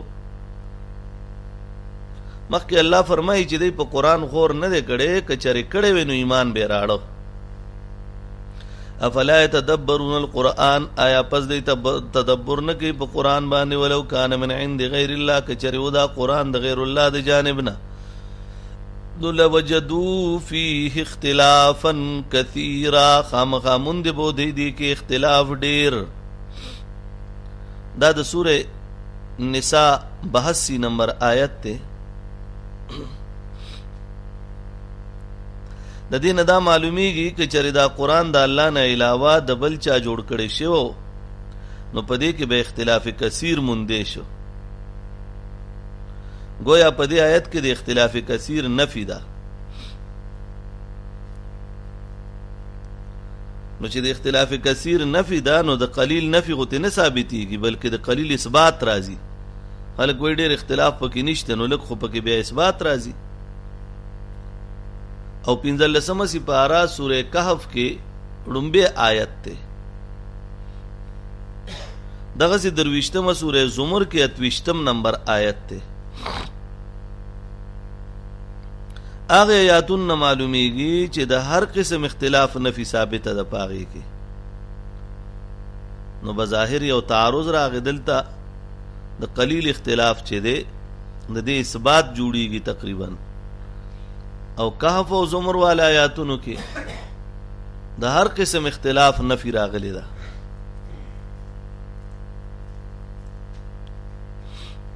د تعارض اسان جواب چې د صاحب جمل ذکر کړی دی چې نساء والا آیت کې د کثیر قید احترازی نه دی بلکې دا قید مبالغه او د ترقې د پاره دی مطلب دا دی کچری دا کتاب د غیر الله کلام وي نو په دې کې بس صرف اختلاف قلیل نه صرف اختلاف قلیل نه بلکې اختلاف کثیر به وي پکې لیکن په دې کې خو نه اختلاف قلیل شته نه پکې کثیر شته نو معلومه شو چې منزل من الله نازل شوی دا الله د جانب نه تعارض دفع شو و اذا جاءهم امر من الامن کله چې راشي دي سره یو حکم د امن او الخوف یا د یری اذاعو به هغه مشهور کی دی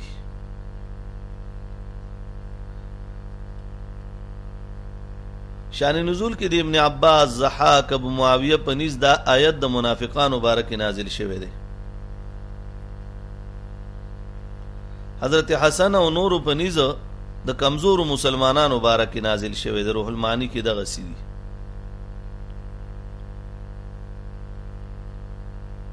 ابن کثیر رحمت الله علیه فرمایي چې د دې آیت په شان نزول کې د حضرت عمر هغه حدیث ذکر کول پکار دي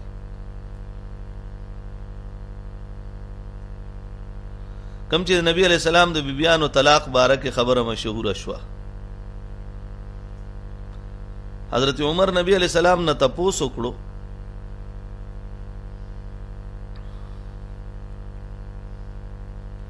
او هغه فرمایل چې دا دروغ دي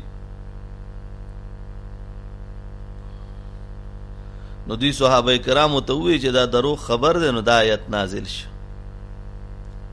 واذا جاءهم امر من الامن کله چراغ دی سره یو حکم د امن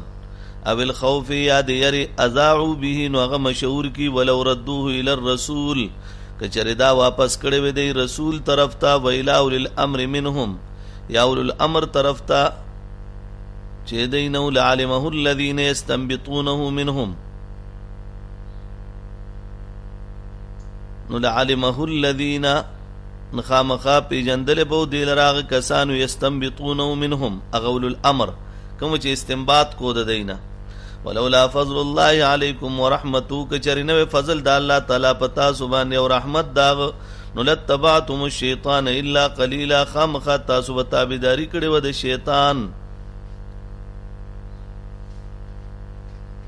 لتبعتم الشیطان کچری نو فضل د الله تعالی رحمت داغ نو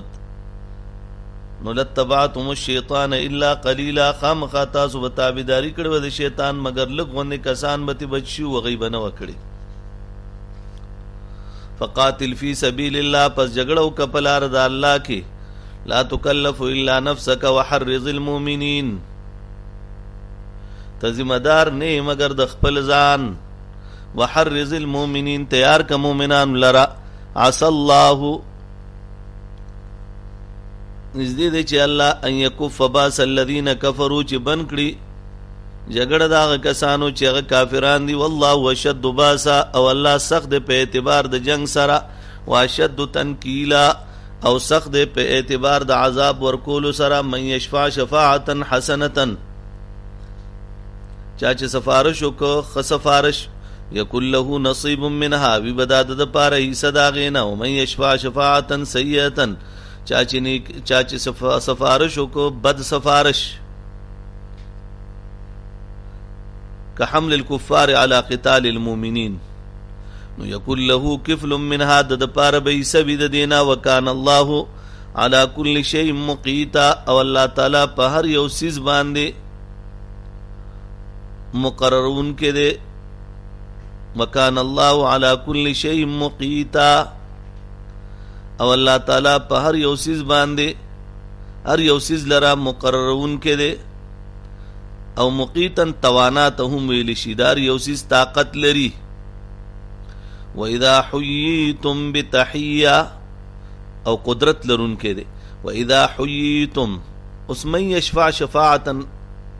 حسنة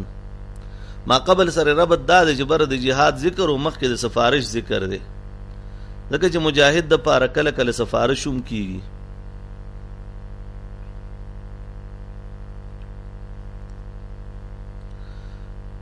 واذا حييتم بتحيه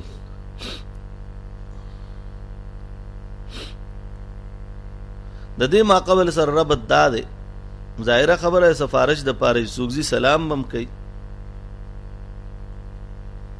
ابو داود شریف کې سلام کول والتا 10 نیکه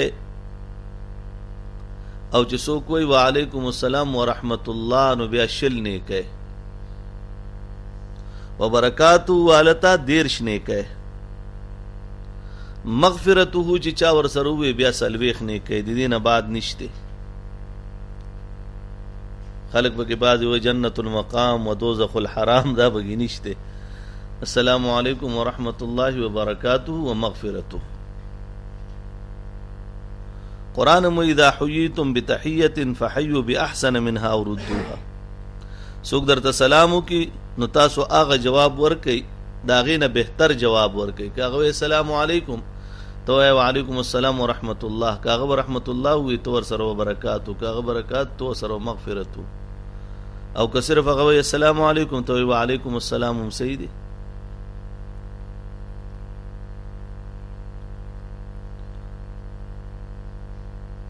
ونن سبا خو چاله سلام چل نه ورزین السلام علیکم دا د ټولو نه ښکلی سلام چې نن سبا څوک کوي هغه سلام علیکم سلام علیکم سی دغه معنی نشته نو السلام علیکم سلام علیکم هم ویل شي السلام علیکم ورحمت الله سلام علیکم او بیا نن سبا نوی فیشن سلام سلام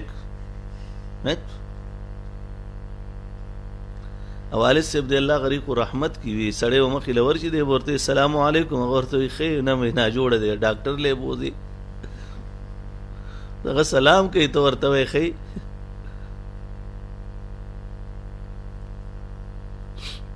په سلام هم نن سبا سوک نه پوي او څو ډیرو خلکو نقل دا د انګریزانو قران ویلی السلام علیکم به وای دی بزر وای چې ګډ مارنینګ سار کې هم میسج کې درته ډیر ګډ مارنینګ راشي ګډ یونینګ ګډ مارنینګ د سار ګډ نایټ او دا د سار سلام دی دا د ماسوتن سلام دی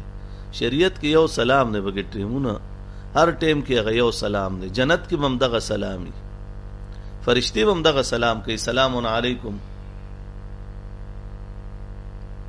فرشتي هم وایي سلام علیکم په تاسو دې سلامتیا وي نو اذا حییتم بتحیه اسخلا اسخو سلام بل شان کو کرونا وایرس د لاس به یو بل سره نه ملاوي یو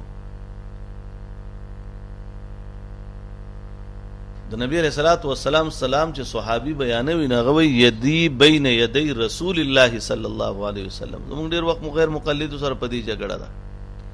یدی بین یدی رسول الله صلی الله علیه وسلم نبی علیه السلام سره مې داسې لاس ملاو چې زما دا یو لاس به د نبی علیه السلام د دواړو لاسونو په مینځ کې و داسې به لاس ملاوي د اوس چې هسپتال ته ورشي ډاکټران داسې لاس ملاوي دا خو د جنگ د پاره مخکې چې به دی وړو اوس خو جنگونه بل شان شو ور سړی د سړی زوی نه دی اوس یو زمانہ و جنگ به کو به سنگل به یو بلو و دا جنگو دا سی به کړو بس دا جنگو اوس دای چې دینو چې ورشه سلام کې دا سی ډیر په کې خپه ملاوي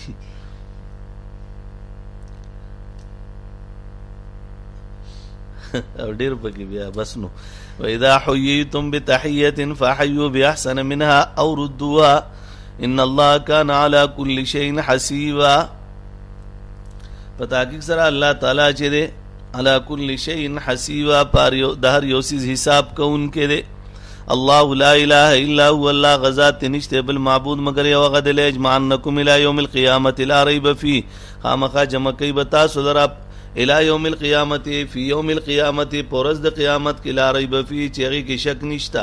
ومن اصدق من الله حدیثا او څوک دی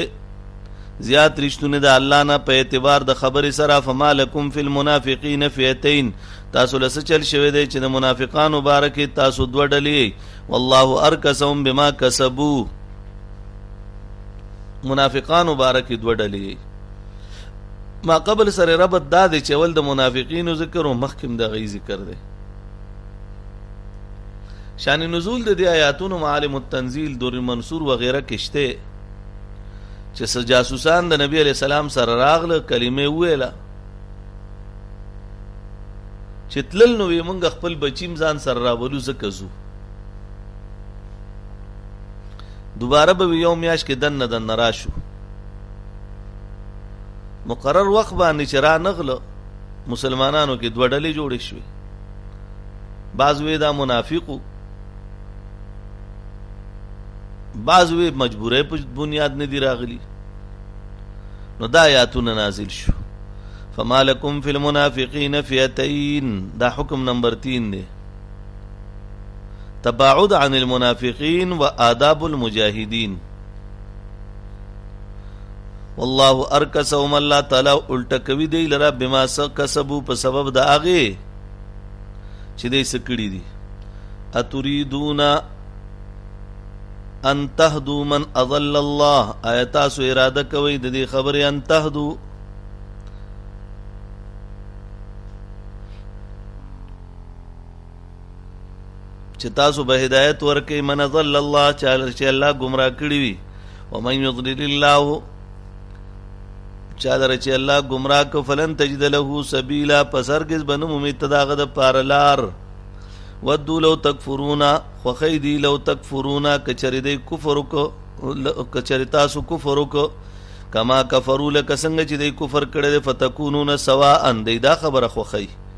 شي به تاسو برابر فی الکفر په کفر کې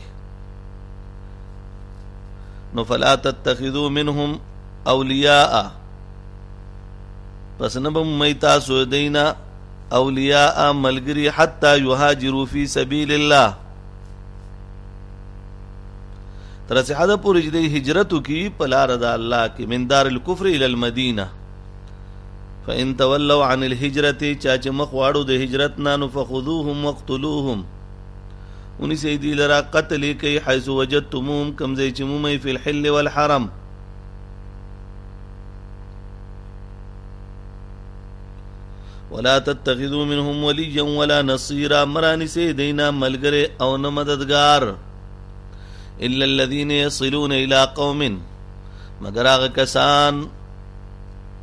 یصلون الی قوم بینکم وبینهم میثاق چې هغه رسیدلی وی هغه قوم ته چې تاسو د هغې په مینځ کې میثاق د عهد دی او جاوکم یا راتګو که تاسو ته حسرت صدورهم پتلا حسرت صدورهم تنگ شوي دي زړونه د هغې ان یقاتلوکم او یقاتلو قومهم چې یا تاسو سره جګړه وکړي یا خپل قوم سره ولو شاء الله که چرې غوښتې وې الله تعالی نو لسلطهم علیکم مسلط کړي به وغي لره په تاسو باندې به ازاله الحصر والرعب نو فلقاتلوکم امخا جنگ به کو تاسو سره فین اعتزلوکم فلم یقاتلوکم که تاسو نه پسنګ شي او جګړه نه کوي تاسو سره والقویلیکم السلام او راغورځولې تاسو ته صلح نو فما جعل الله لكم عليهم سبيلا پس نه ګرځولې الله تعالی تاسو د پاره پاغي باندې سلار ستجدون آخرین اوس به تاسو اوممی یو بل قوم لره یریدون ان یأمنوکم هغه اراده کوي چې ستاسو نه په امن کې ځان لره بالنفاق و اظهار الاسلام دا بنو اسد بنو غطفان دي تفسیر خازن کې دي چې دوه خاندانونه او د یو نوم بنو اسدو تفسیر خازن ذکر کړی دی بل بنو غطفانو مسلمانانو ته مونږ تاسو سره یو کافرانو ته مونږ تاسو سره یو هغه باره کې د آیاتونه نازل شوي دي کلما ردو الى الفتنه نو یریدون ان یامنوکم چې تاسو نه په امن وي یا منو قوم خپل قوم نه په امن وي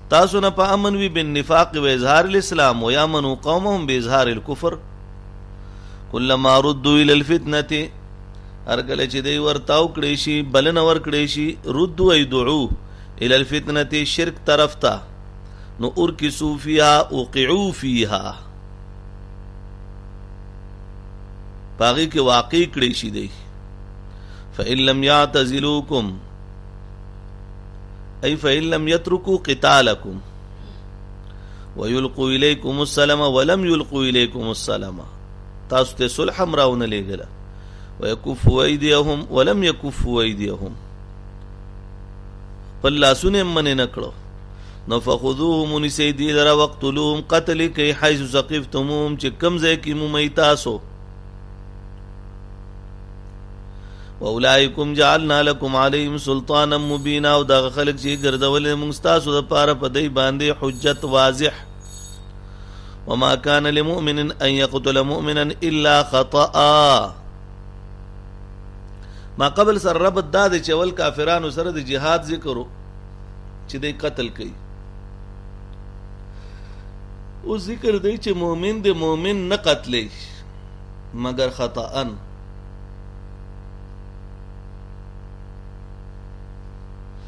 که چېرې خطأً قتل وي نو دیت به واجب وي دیت د نبی علی السلام زمانه کې او د خلفای راشدینو په زمانه کې سلو خان یا لز زر درهمه یا زر دینارو سلو خان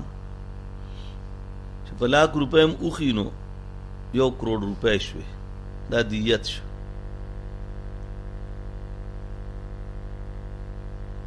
په قتل کې چونکې دوه حق دي یو حق الله دی اخو به ال پوره کیږي چې مؤمن غلام کفاره کې آزاد کیا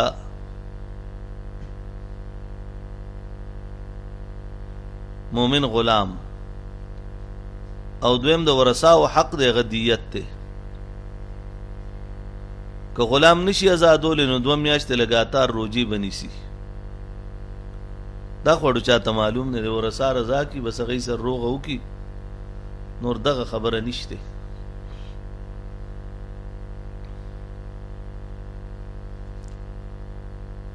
وما كان لمؤمن ان يقتل مؤمنا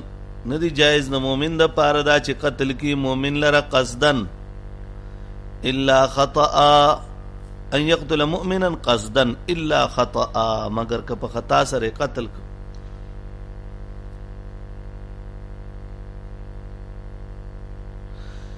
ومن قتل مؤمنا خطا او چا چې قتل کو مؤمن لره خطا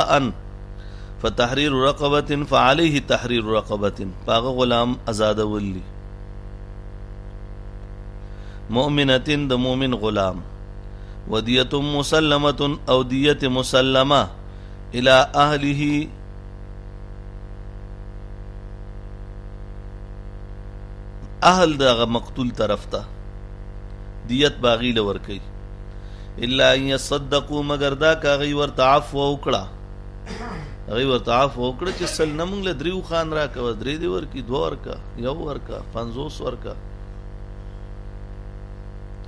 فإن كان من قوم عدو لكم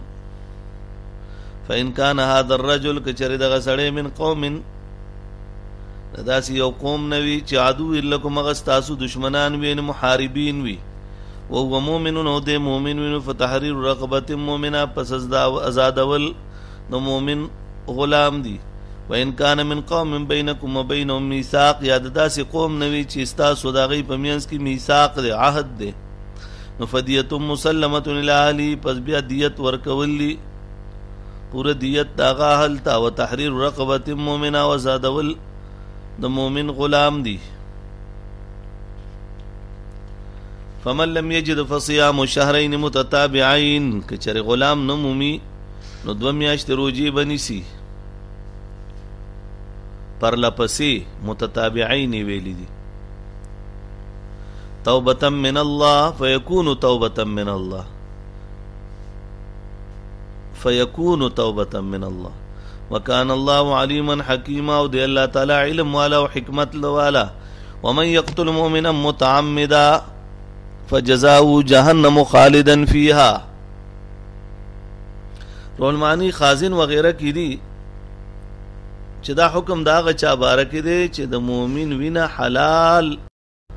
وګڼي او قتلي کی د دې بدله خو دغه ده البته که چېرې ان الله لا یغفر ان یشرک به د قاعده مطابق الله تعالی دې معاف کی یعنی همیشه جهنم کې داخل نکی دویم دا چې د بدله خو دغه ده مګر دا که هغه توبه وکي نو په دې صورتونو کې به خلود په معنا د مکس طویل وي خلود به په معنا د مکس طویل وي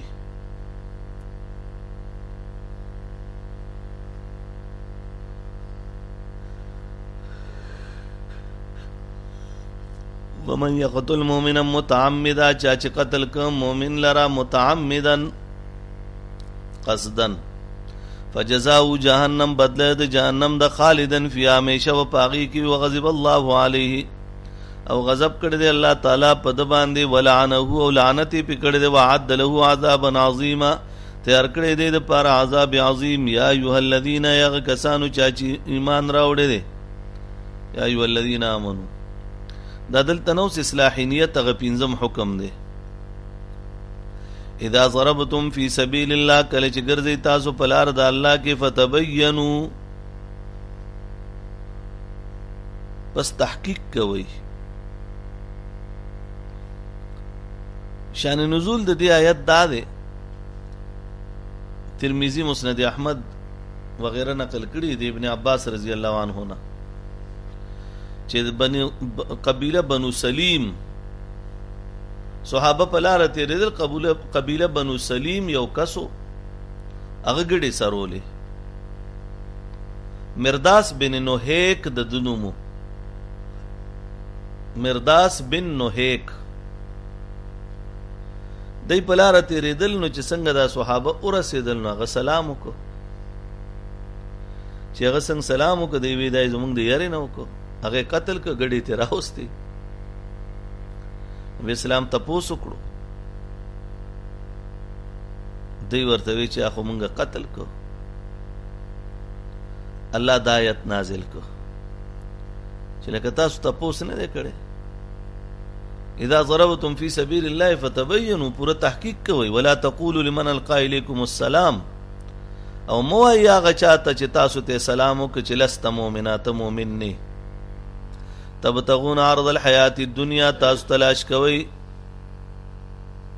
فائدہ د دنیا د ژوند فعند الله مغانم کثیره پس الله سره خو مغانم ډیر دي کذالک کنتم من قبل هم دارنګ وی تاسو مخکې دینن فمن الله علیکم الله احسانو کو پتا سبحانه فتبینوا بس اوس پورا تحقیق کوي تاسو مخکې دغه سی وي ان الله کان بما تعملون خبيرا په تحقیق سره الله په هغه عمل چې تاسو کوي خبردار دی لا استوي القاعدون من المؤمنين نشي برابر دي القاعدون عن الجهاد من المؤمنين مؤمنانو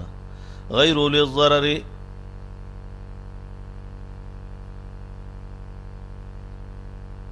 والمجاهدون فی سبیل الله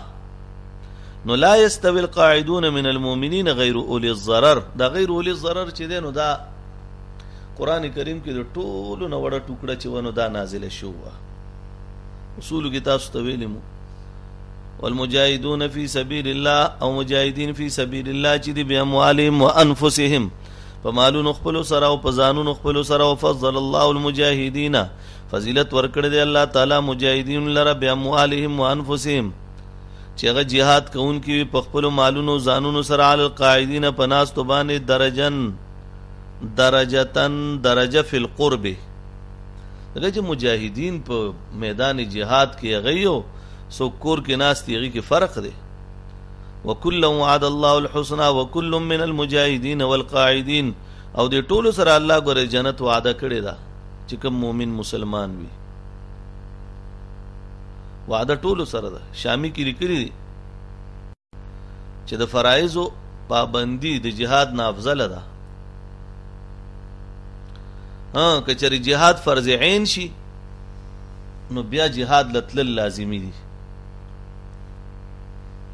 بخاری مسلم دواړو کې روایت ته نبی علی السلام نه تاسو شو چې ایل اعمال افضل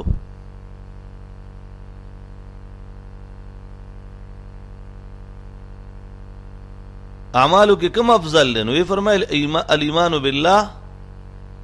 اول ایمان بالله دی بیا والدینو سره نیکی ده ثم صلات فی وقتها بیا منځ د په وخت کې دنه ثم الجهاد فی سبیل الله که جهاد فرض کفایه د والدینو اجازت نه بغیر تل حرام دي چې فرض عین شي نفیر عام شي نو بیا د والدینو اجازت ضرورت نشته پکې وفضل الله المجاهدين على القاعدين اجرا عظيما فضیلت ورکړي الله مجاهدين لره پناستو باندې اجر عظیم درجات منه دا بدله د جانب داغنه او مغفرتا او مغفرت فی الدنیا ورحمتا فی الاخره وکان الله غفور الرحیم الله بخون کې مهربان دی ان الذين توفاهم الملائکه ظالمي انفسهم ان الذين توفاهم الملاك ملائکه ظالمي انفسهم دا د سوره نساء 97 نمبر آیت ته سوره نساء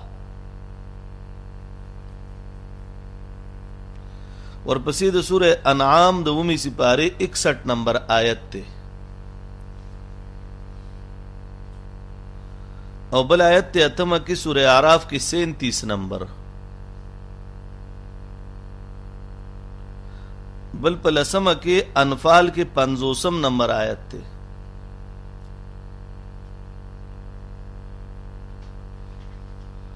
څوارلسمه نحل کې اټایس نمبر آیت دی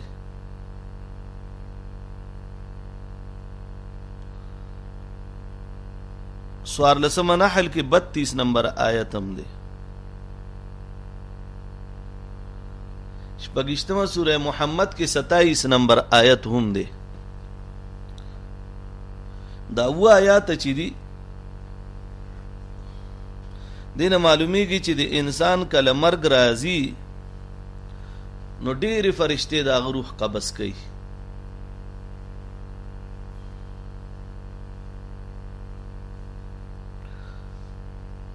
او د سوره نحل او د سوره سوره نحل کې 70 نمبر یو آیت ته او په سلیشتمه سپاره سوره زمر کې 42 نمبر آیت د دواړو نه دا معلومیږي چې الله په خپل روح قبض کوي او په یوشتمه سپاره سوره سجده کې یو لسم آیت کې دا ذکر دی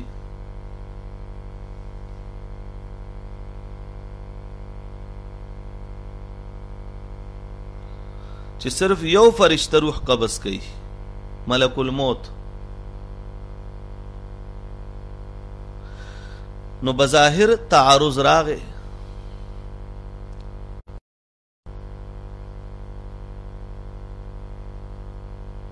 چې یو ځای کې د ملائکو ذکر دی بل ځای چې دینو الله په خپل روح قبض کوي او بل ځای کې دی په و آیاتو کې دی چې ملائکه ورله روح قبض کوي دو آیاتو کې دی چې الله قبض کوي یو آیت کې دی چې ملک الموت یو فرشته قبض کوي نو بظاهر یو تعارض غوندي جوړیږي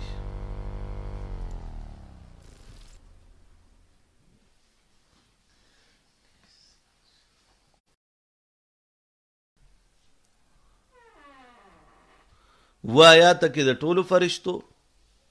دو آیات کې د الله او په یو آیت کې د ملک الموت تذکره ده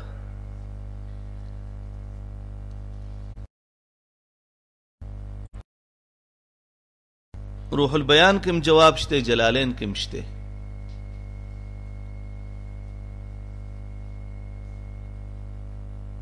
چې ملک الموت د خلق روح قبض کوي او دا نور فرشته د اغه معین او مددګاری وي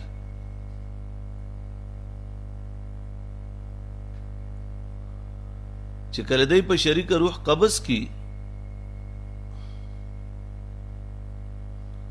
نو الله تعالی بیا په اخیری کې دا روح بالکل راکاږي د بدن نه وباسي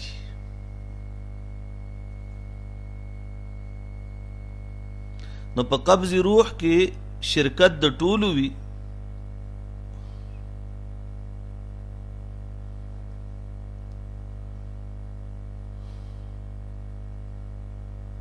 نو بعضی آیاتونو کې نسبت الله طرف ته ده بعضو کې ملک الموت ته هم دی چونکې هغه سردار دی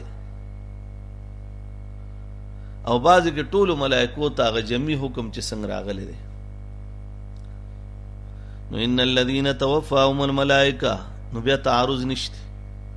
مړکی دی لره ملائکه ظالمی انفسهم چې چا په خپل ځان باندې ظلم کړی وي قالو فيما كنتم تاسو پس کې وي كنا مستضعفين في الارض دی ورته وی چې مونږه و مستضعفين في الارض اي في ارض العدو کمزوري د دشمن پزمکه کې قالو نو دا ملائکه ورته وی الم تکون ارض الله واسعه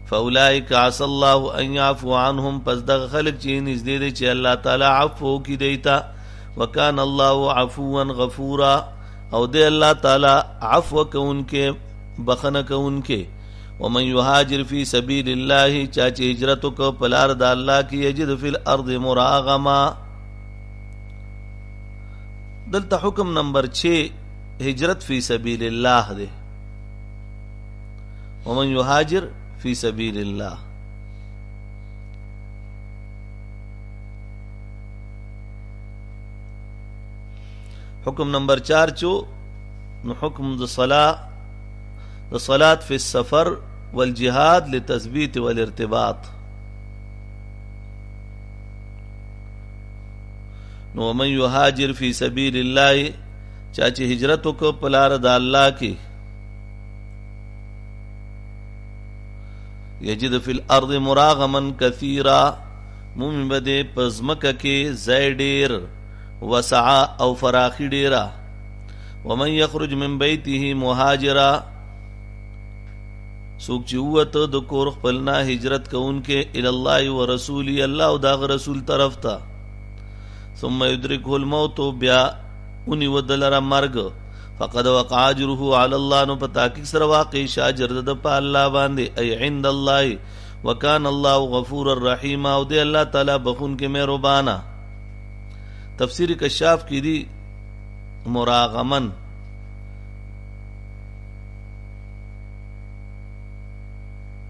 چرغم ای ذهب مراغم ظرف مکان صيغه ده د تیختې ځای د ترک هجرت وعید چې اورې ده نو یو بوډا خپل نوسو ته وی وی ما هجرت لبوزه غي ورته کاکا ته تلې نشي صحابیو هغه ورته وی وی الله خو په کیسه قید نه دی لګولې خبره د هجرت کړې ده نو کدا سې نشم ته نو کټ کې خو مې وړې شي هغوی ورته وی او وی د نبی علیه السلام حکم باندې قرآن په حکم به عمل وشي کټ کې واچو هجرت له روان شو کټ هغې اوچت کو په لاره کې وفات شه هغه ځای قبر شه هغه ځای جنازه شوه داسې خلک هم صحابه وکړو د هغې مقابله به ایمان کې څوک کوي ومن یخرج من بیته مهاجرا الی الله ورسوله ثم يدركه الموت فقد وقع اجره على الله الله ذکر کوي په تحقیق سره واقع شه اجر داغه په الله باندې وکان الله غفور الرحیم دی الله بخون کې مهربانا و اذا ضربتم ای سافرتم و اذا ضربتم فی الارض که د بنده ځان نه ډېر زړه ښه شي چې یاره زمونږ ایمان ډېر مضبوط دی خو چې د صحابي خبره مخې ته راشي نو سړی حیران شي چې دا دې خلکو له څومره کلک ایمان الله ورکړو و اذا ضربتم ما قبل سره ربط دا دی چې بره د جهاد ذکر او بیا د هجرت ذکر او دواړو کې د سفر ضرورتي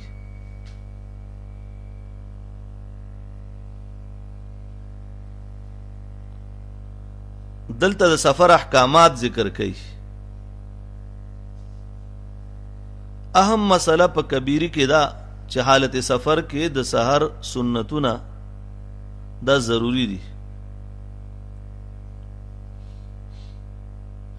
باقی سنتونه د سحر د دوو سنتو نه علاوه هغه کې اجازه ته اختیار ده که کوي ثواب دې نه کوي هیڅ ګناه نشته و اذا ضربتم فی الارض فلیس علیکم جناح اذا سافرتم کله چې تاسو سفر کې فی الارض پزمکه کې فلیس علیکم جناح پس نشته په تاسو باندې اس ګنان تقصرو من الصلاه دا چې تاسو قصر کوي په مونږ کې ای من الصلاه الرباعيه چې قصر کوي یعنی د سلورو په ځای دوه کوي په رباعي مونږ کې نو ان تقصروا من الصلاه الرباعيه دا پکې شرط دی ما ته یو کس ټلیفون وکړ بیا شهید شاه الله دی وبخي د ماخام روزه ماته وکړ یو کجوره وخوړ یو ګټو به اوس کلی جمعات ته لاړو نو ګنا نه خطا بل چا سم مسله واغي باب کې جومات نه واپس راتلو تسبیح داسې اړولې لاس کې وې روژه ماتې ایله کړه او روټۍ لا نه وه خوړلې په لاره چا وویشته نا ډېر ساده او بزرګ سړی و سنتو ښه متبع و مسایل خو جدا خبره په لاره سفر کې ما ته ټلیفون وکړو وی جی سفر کیو خو مونږ خو نوې تبلیغ کې وخت لګول او نوې خولي ګیره پرې خو دغه شو برابر وای چې مونږ په لار سفر کیو تشکیل هم شوی د فلان کی ځای تروان ما خام مونږ وخت راغې نو دا سفرانه به درې رکعات چی نو دې کې وسنګ چل کو مورته مې ته تر اوسه په دې مسلم نه پوهه او مې خاندل وای چې بس تبلیغ په برکت هم ورته توجه راغله نو مخکې هم مونږ خاطر یو تبلیغ په برکت باندې توفیق ملاو شو نو ځکه تپوس کوم چې یو نیم رکعت به کو څنګه دی یو نیم رکعت به څنګه بیا ما پوهه کوم ورته مې دا دې کې قید دی چې ان تقصروا من الصلاه الرباعيه کم چې رباعي منځونه سنایي ثلاثي منځونو کې نشته کم منځ کې چې دوه سنایانې وینو پاغي کې به یو اوشي یو به پاتې شي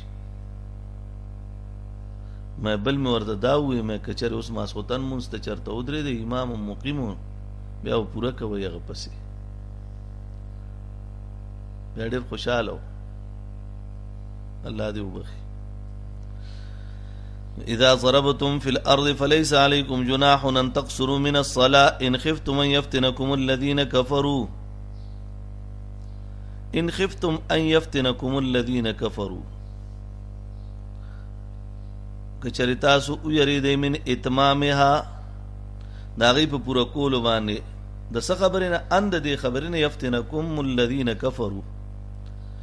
چې امتحان کې به واچي تاسو لره ظلم به وکړي په تاسو هغه کسان چې کافران دي بالقتل او غیره نو ان الکافرین کانوا لکم عدوا مبینا په تحقیق سره کافران ستاسو د پاره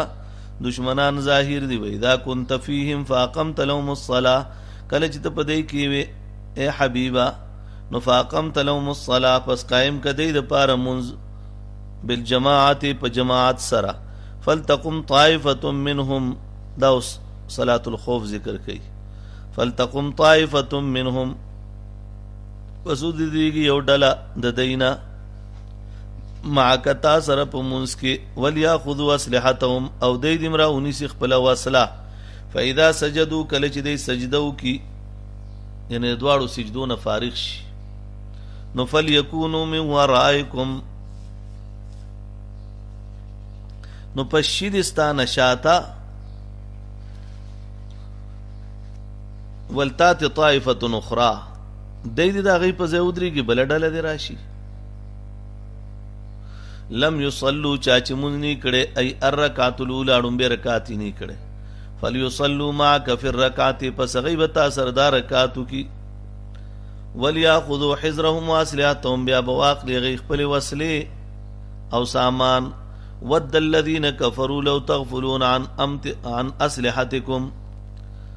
تمنا کوي هغه کسان چې کافران دي که چېرې غافلان شوي تاسو د خپلو سامانونو او د وسلو نه امتعاتکم ای متاع الحرب د جګړې سامان نو فیمیلون علیکم میلتا واحده چې تاسو په منځي هغوی به حمله وکړي په تاسو په یکبارګۍ سره ولا جناح علیکم او هېڅ ګناه نشته په تاسو باندې ان کان بکم اذی که چېرې در ورسېږي تاسو ته اذیت من مطرن د باران نه او کنتم مرضا یا تاسو غریبان یا تاسو مریضان یې ان کنتم مرضا نو لا جناح علیکم فی ان تضعوا اسلحتکم نشته سګونا فی ان تضعوا دا په دې خبره کې چې تاسو کې دی اسلحتکم وسلې خپلې وخذو حذرکم او د حفاظت سامان هغه واخلې وخذو حذرکم ای ما یتقیکم هغه سامان چې هغه تاسو بچ کوي یعنی ډال وغیره ان الله عد للكافرین عذاب مهینا په تحقیق سره الله تعالی تیار کړی د کافرانو لپاره عذاب مهین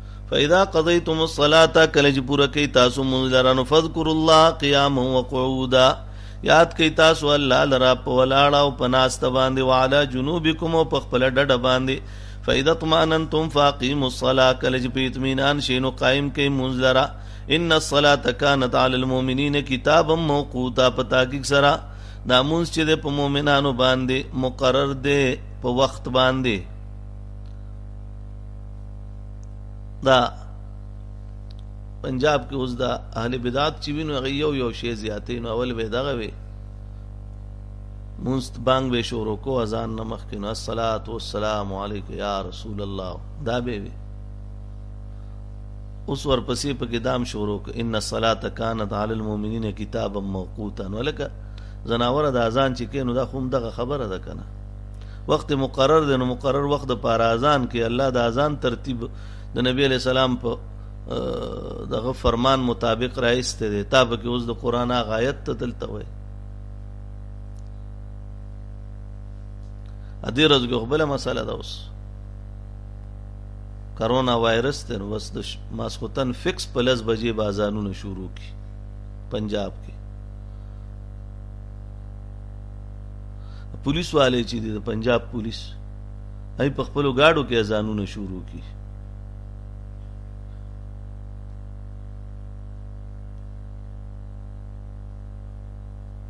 د کرونې دوران کې درس نمک کې زه اوزل پنجاب کې هم یو ځای کې یو سړی مونږ سره اوس خبرې کولې دې کې ناسا په لس بجې شو بس زرو درې دغه سي سره سپلو یو ځای کې او چغې شروع کې بانګې شروع ما وی چیر په دسه چلو شو هم چې کتل نو هر ځای نه اذانونه شروع شو کله ټیم ته ګورم چې یاره دا پته یې سهار شوی خو هم نه دی خو څه حساب دی ماسخوتن خو ټیم وشه ډېر چې دا څه حساب دی بیا وې دا د کرونا د وجې مصیبت راغلی دی هلته په روایت پوه نو د مصاحبو په وخت کې اذان شته خو هغې کې شرایط دي فکس دومره نه دومره ټیمه پورې دا پکې نشته په لوډ سپیکرو نشته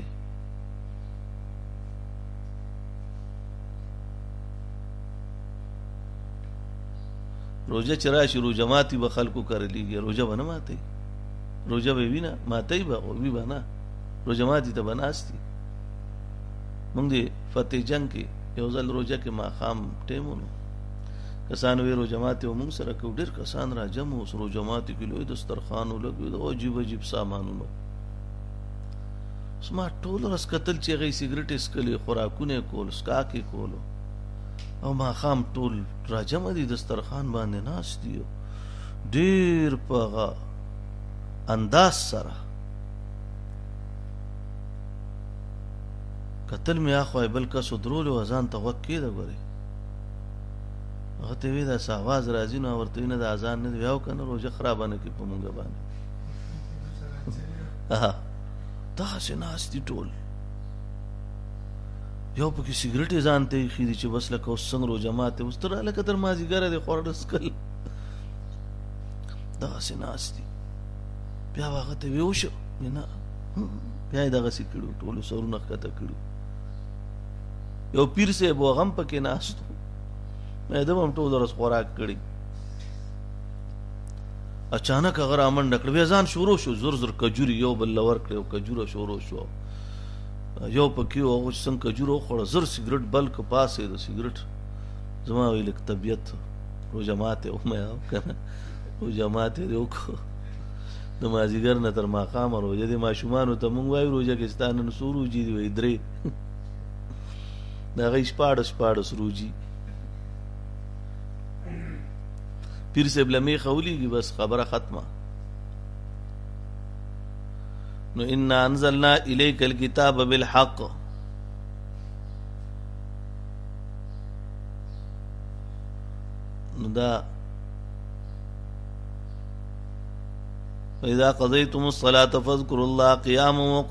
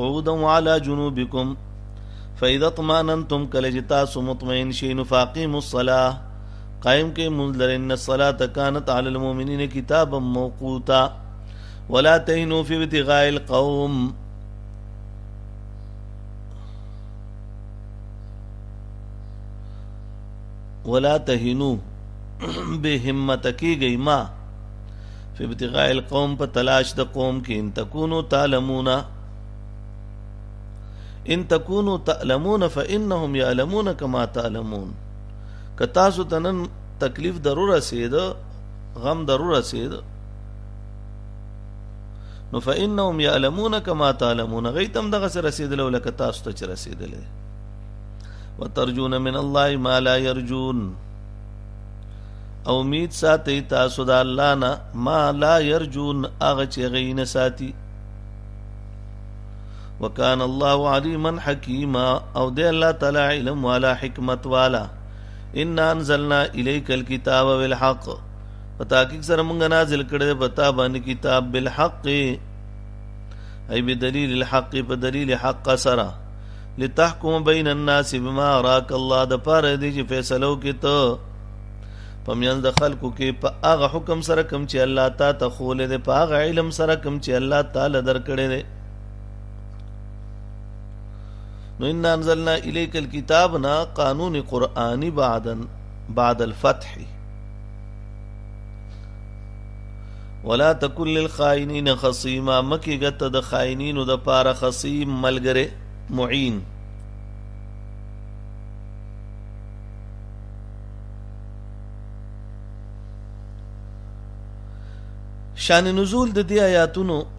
ربط یې دا دی چې ما قبل کې بیان د عام عام کفارو د مجاهدینو دلته د خاص کفارو طعمه بن اوبیرق داغه ذکر دی ترمذی حاکم د روایت مطابق د مدینه مشهور خاندان بنو بیرق یو سړی بنو بیرق مشهوره قبیله وه یا د دغه سړي نوم بشیر یا طمع طعمه د حضرت قتاده بن نعمان رضی الله عنه داغه تر رفاعه د نعمان درور د رفاعه داغه په کور کې ګټو کو په خوا خلکو ګټ کو کنه کورونو ته د کور یو طرف کې به داسې لاندې سورې وکړو هغې کې بدن نه شو غلا به وکړه بیا به پې ووتل نن سبا خو ټوپک تماچه شته غلو سره هم بس سم کار دی یو سړي کره غلو ګډ کړو نه سړی هم ډېر هوښیار داغه نه د پاسه آرامي وو غل چې ګټو که دی پیراویخ شو نو دې سړی تیار تبر نیول او چې دې سر را دن نه کی ځکه چې وړو کې ګټ بوغي کې به سر دن نه کو نو دن نه وتلل نو دا سر ته نه پدې تبر وهم غور ته تیار تبر نیول غل چې ګټو کار سي برابر کړو نو دارټ لوټ کې ځان سر راوړو نو روغندې غلوټ کې وردن نه کو چې هغه یو ټک لوټ کې مات کو نو خو نری سوري او سورا وطن غل بیا تختیدل غل وی چې د لوټکی ته وګوري دی وای چې دا د غل سر دی دله به راو بغي وم شو دغه سي نو دا طعمه چې نو دم دغه سي هغه کور ته ګټ کړو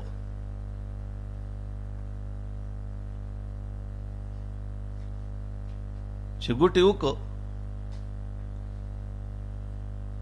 نو هلته نه اغلا وکړه سو وسله واو د وړو بوجه وه او د ترمذی روایت کې دام دي چې دا سړی منافق وو نبی علیہ السلام په شان کې به غلط اشعارم خورول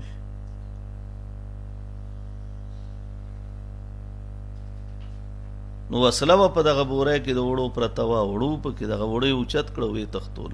دغه غلا و په خوا رفاعه چې سار را پاسې د پته ولګې دا چې وړو خو نشته نو خپل رواره چې قطاده هغه د واقع نه خبر کو محله کې تلاشي وکړه خلکو ورته وی چې بنو بیرق کې د شپې اور بلیده او معلومیږي دا چې د شپې اور بلیدن د ډوډۍ په خولې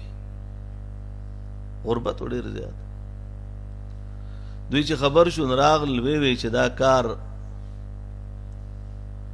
بنو بیرک چې خبر شو هغه وی لبید بن سهل چې دین هغه د غلا هغه کړی دا یو بزرگ صحابیو هغه تور راوي استاو دا وی د ترغیب دا تور نقدم چې سو پورې مې د غلا حقیقت نه وی معلوم کړي د زر لبید پسې لړ لا بوډا پسې بزرگ صحابي وغته وی همدغه بنو بیرک چې بس ته خولې نه ووته خبره نو بس ته نه یې که نه بل څوک دی هغې خو غلی کو بیا یې بوره کې نرۍ غوندې سورې وکړه او د شپې وړاو نری نری وړې ته به یول او د یهودي کور مخې ته بوره بیا د لاندې نه صحیح بند کړه خلکو ته دا وښوله چې ګینې د یهودي دا غلا کړې ده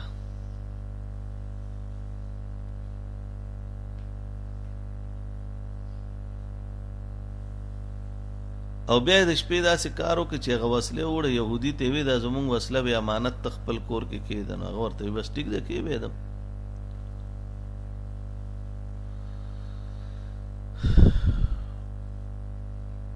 اوس چې کله تالاشي وشو نو وسله يهودي کر راوته هغه قسم وکړ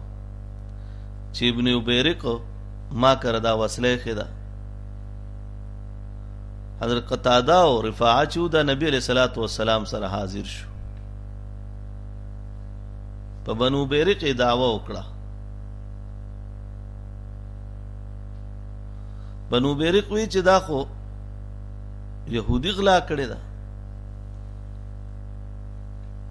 حضور علیہ السلام هم په يهودي باندې ګمان وکړو نږدې و چې هغه نه لاس کټ کړو بلخوا حضور حضرت قتاده او رفاعه ته ووی چې په یو مسلمانه کورنۍ بنو بیرق باندې تاسو ولې دا تهمت لګوي هغه ډیر پیمانه شو جزان الته د يهودي کور مخې ته وړه مونږ شو لار غې ته جوړه شو اوی والله المستعان لګه مو د پس د قران پوره رکو دیواره کې نازله شوه او د بنو بیرق باره کې وویل شو چې دا دی قرآن کې ورته وضاحت سره وویل شو چې دی کړی دا غلا هغه ټول حاضر شو هغه وسلا او اوړو ټول حاضر کړل وسله خو حضرت قتاده چونو رفاعه هغه ټول جهاد د پاره وقف کړه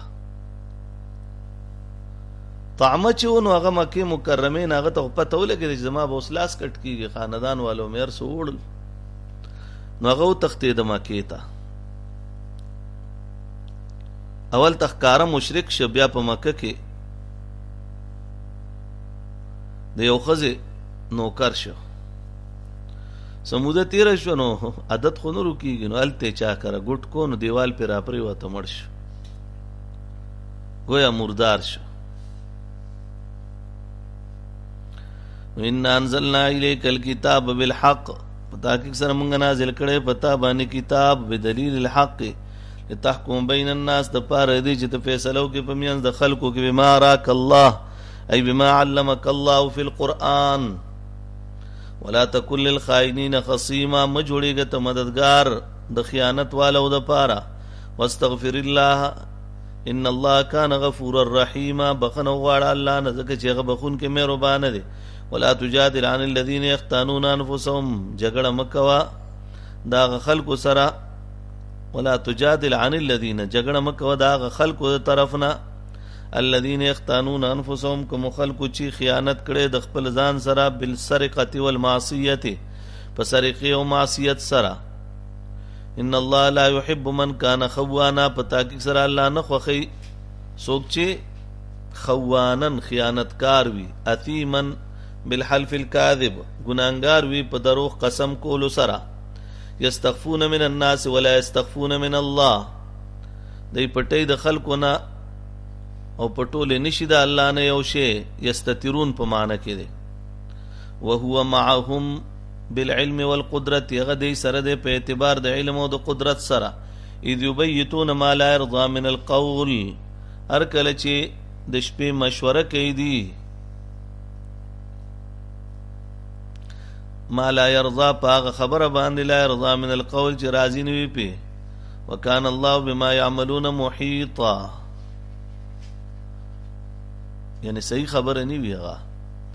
وکان الله دی الله تعالی بما يعملون محيطا چې کوم عمل دی کوي هاته کوون کې دی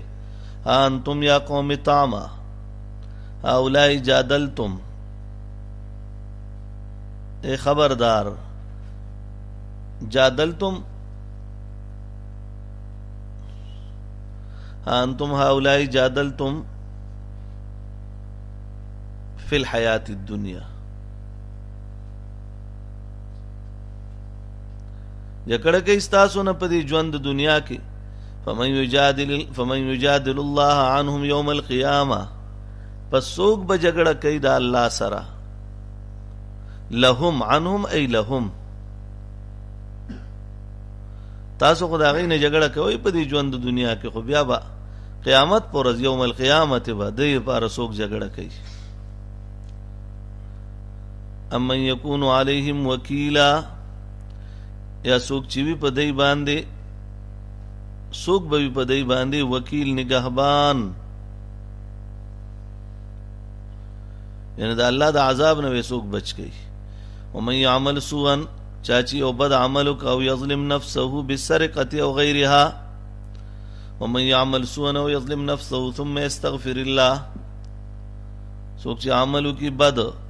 یا ظلم وکړي په خپل ځان په سرقې سره یا په نورو ګناهونو سره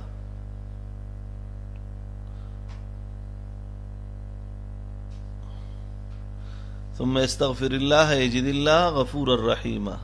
بیا بخنه غواړي د الله نه وبمومي الله لرا بخون کې مهربانه او من یکسب اثما چا چې وګټو ګنا فینما یکسبه علی نفسه دا غا ګنا په خپل ځان باندې وکان الله علیما حکیما دی الله علم والا حکمت والا ومن یکسب خطیه چا چې وکړو یو ګناه او خطیه خطا یو ګټله او اسمن یا ګناه نو الته صغیره او یا کبیره ثم يرمي به بریا بیا تهمت لګی په بی ګناه باندې دا بی ګناه چې وغه بزرگ صحابي یا غي نه بعد يهودي فقد احتمل بهتان و اثم مبینا نو په تحقیق سره احتمل د اوچت کا علی نفسه په خپل ځان باندې احتمل علی نفسه بهتانا بهتان علی صاحبه اوچت ک په خپل ځان بهتان په خپل ملګری باندې و اثم مبینا او گناہ کارا ولولا فضل الله عليك ما قبل سره رب داده چې په ما قبل کې قصه د طعم بن ویرق وا او داغه انجام علی الكفر دلته نه ذکر د انجام دا داغه د کفر هغه دی نو دې ځای کې دا د سو ان لفظ د دینه مخ کې چې کم تیر شو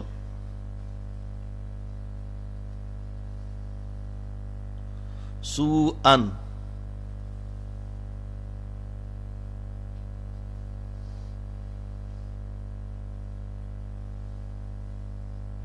ومن يعمل سوءا کې دینه مراد داسې ګناه چې د شرک نه کمې درجی وي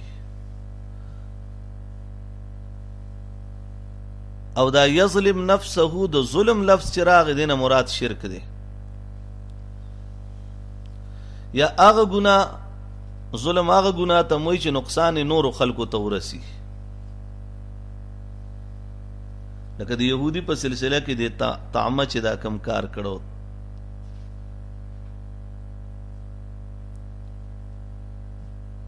طمعه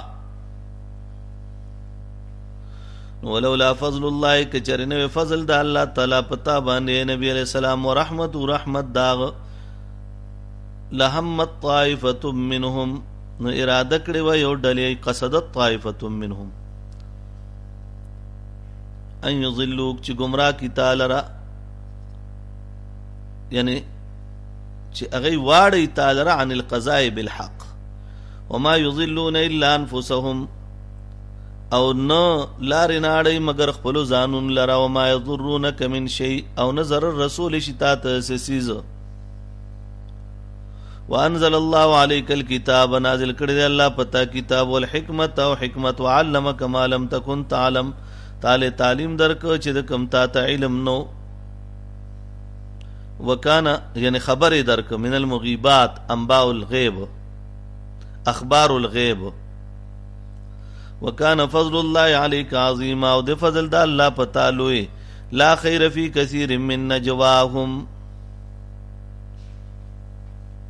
کثیر دا مبدل منه دی من امر دا د دې بدل دی مخکې مجرور یا به نجوا هم مبدل منه شي من امر او بدل شي یا به دا د مستثنا منقطع د وجه نه منصوب وي او الا بد لكن نه په معنی کې شي الا من امر لكن نه په معنی کې ای من امر بصدقه ففي نجواه الخير او الا د غیره په معنی کې مغستل بهتر دي لا خیر فی کثیر من نجواهم نشته بهتري خیر په ډیرو مشورو دا غي کې الا من امر بصدقه مگر چا چې حکم وکړ په نیکه سره من امر بصدقه او معروف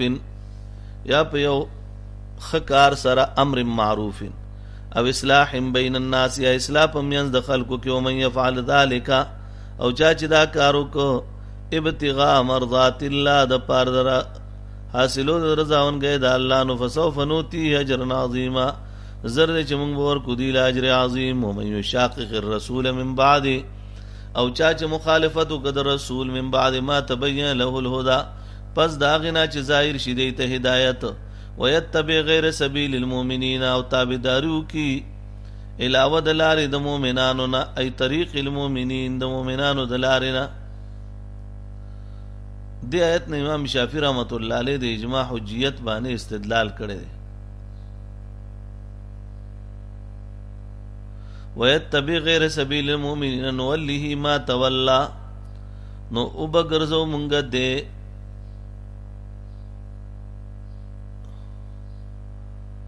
ما تولا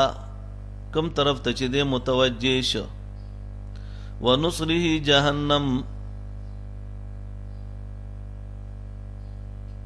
او وابه چو په جهنم کې وسات مصيره بد زید ورتلو ده وقفو کې یو 15 منټه پندرا منټ وقفه وکړئ.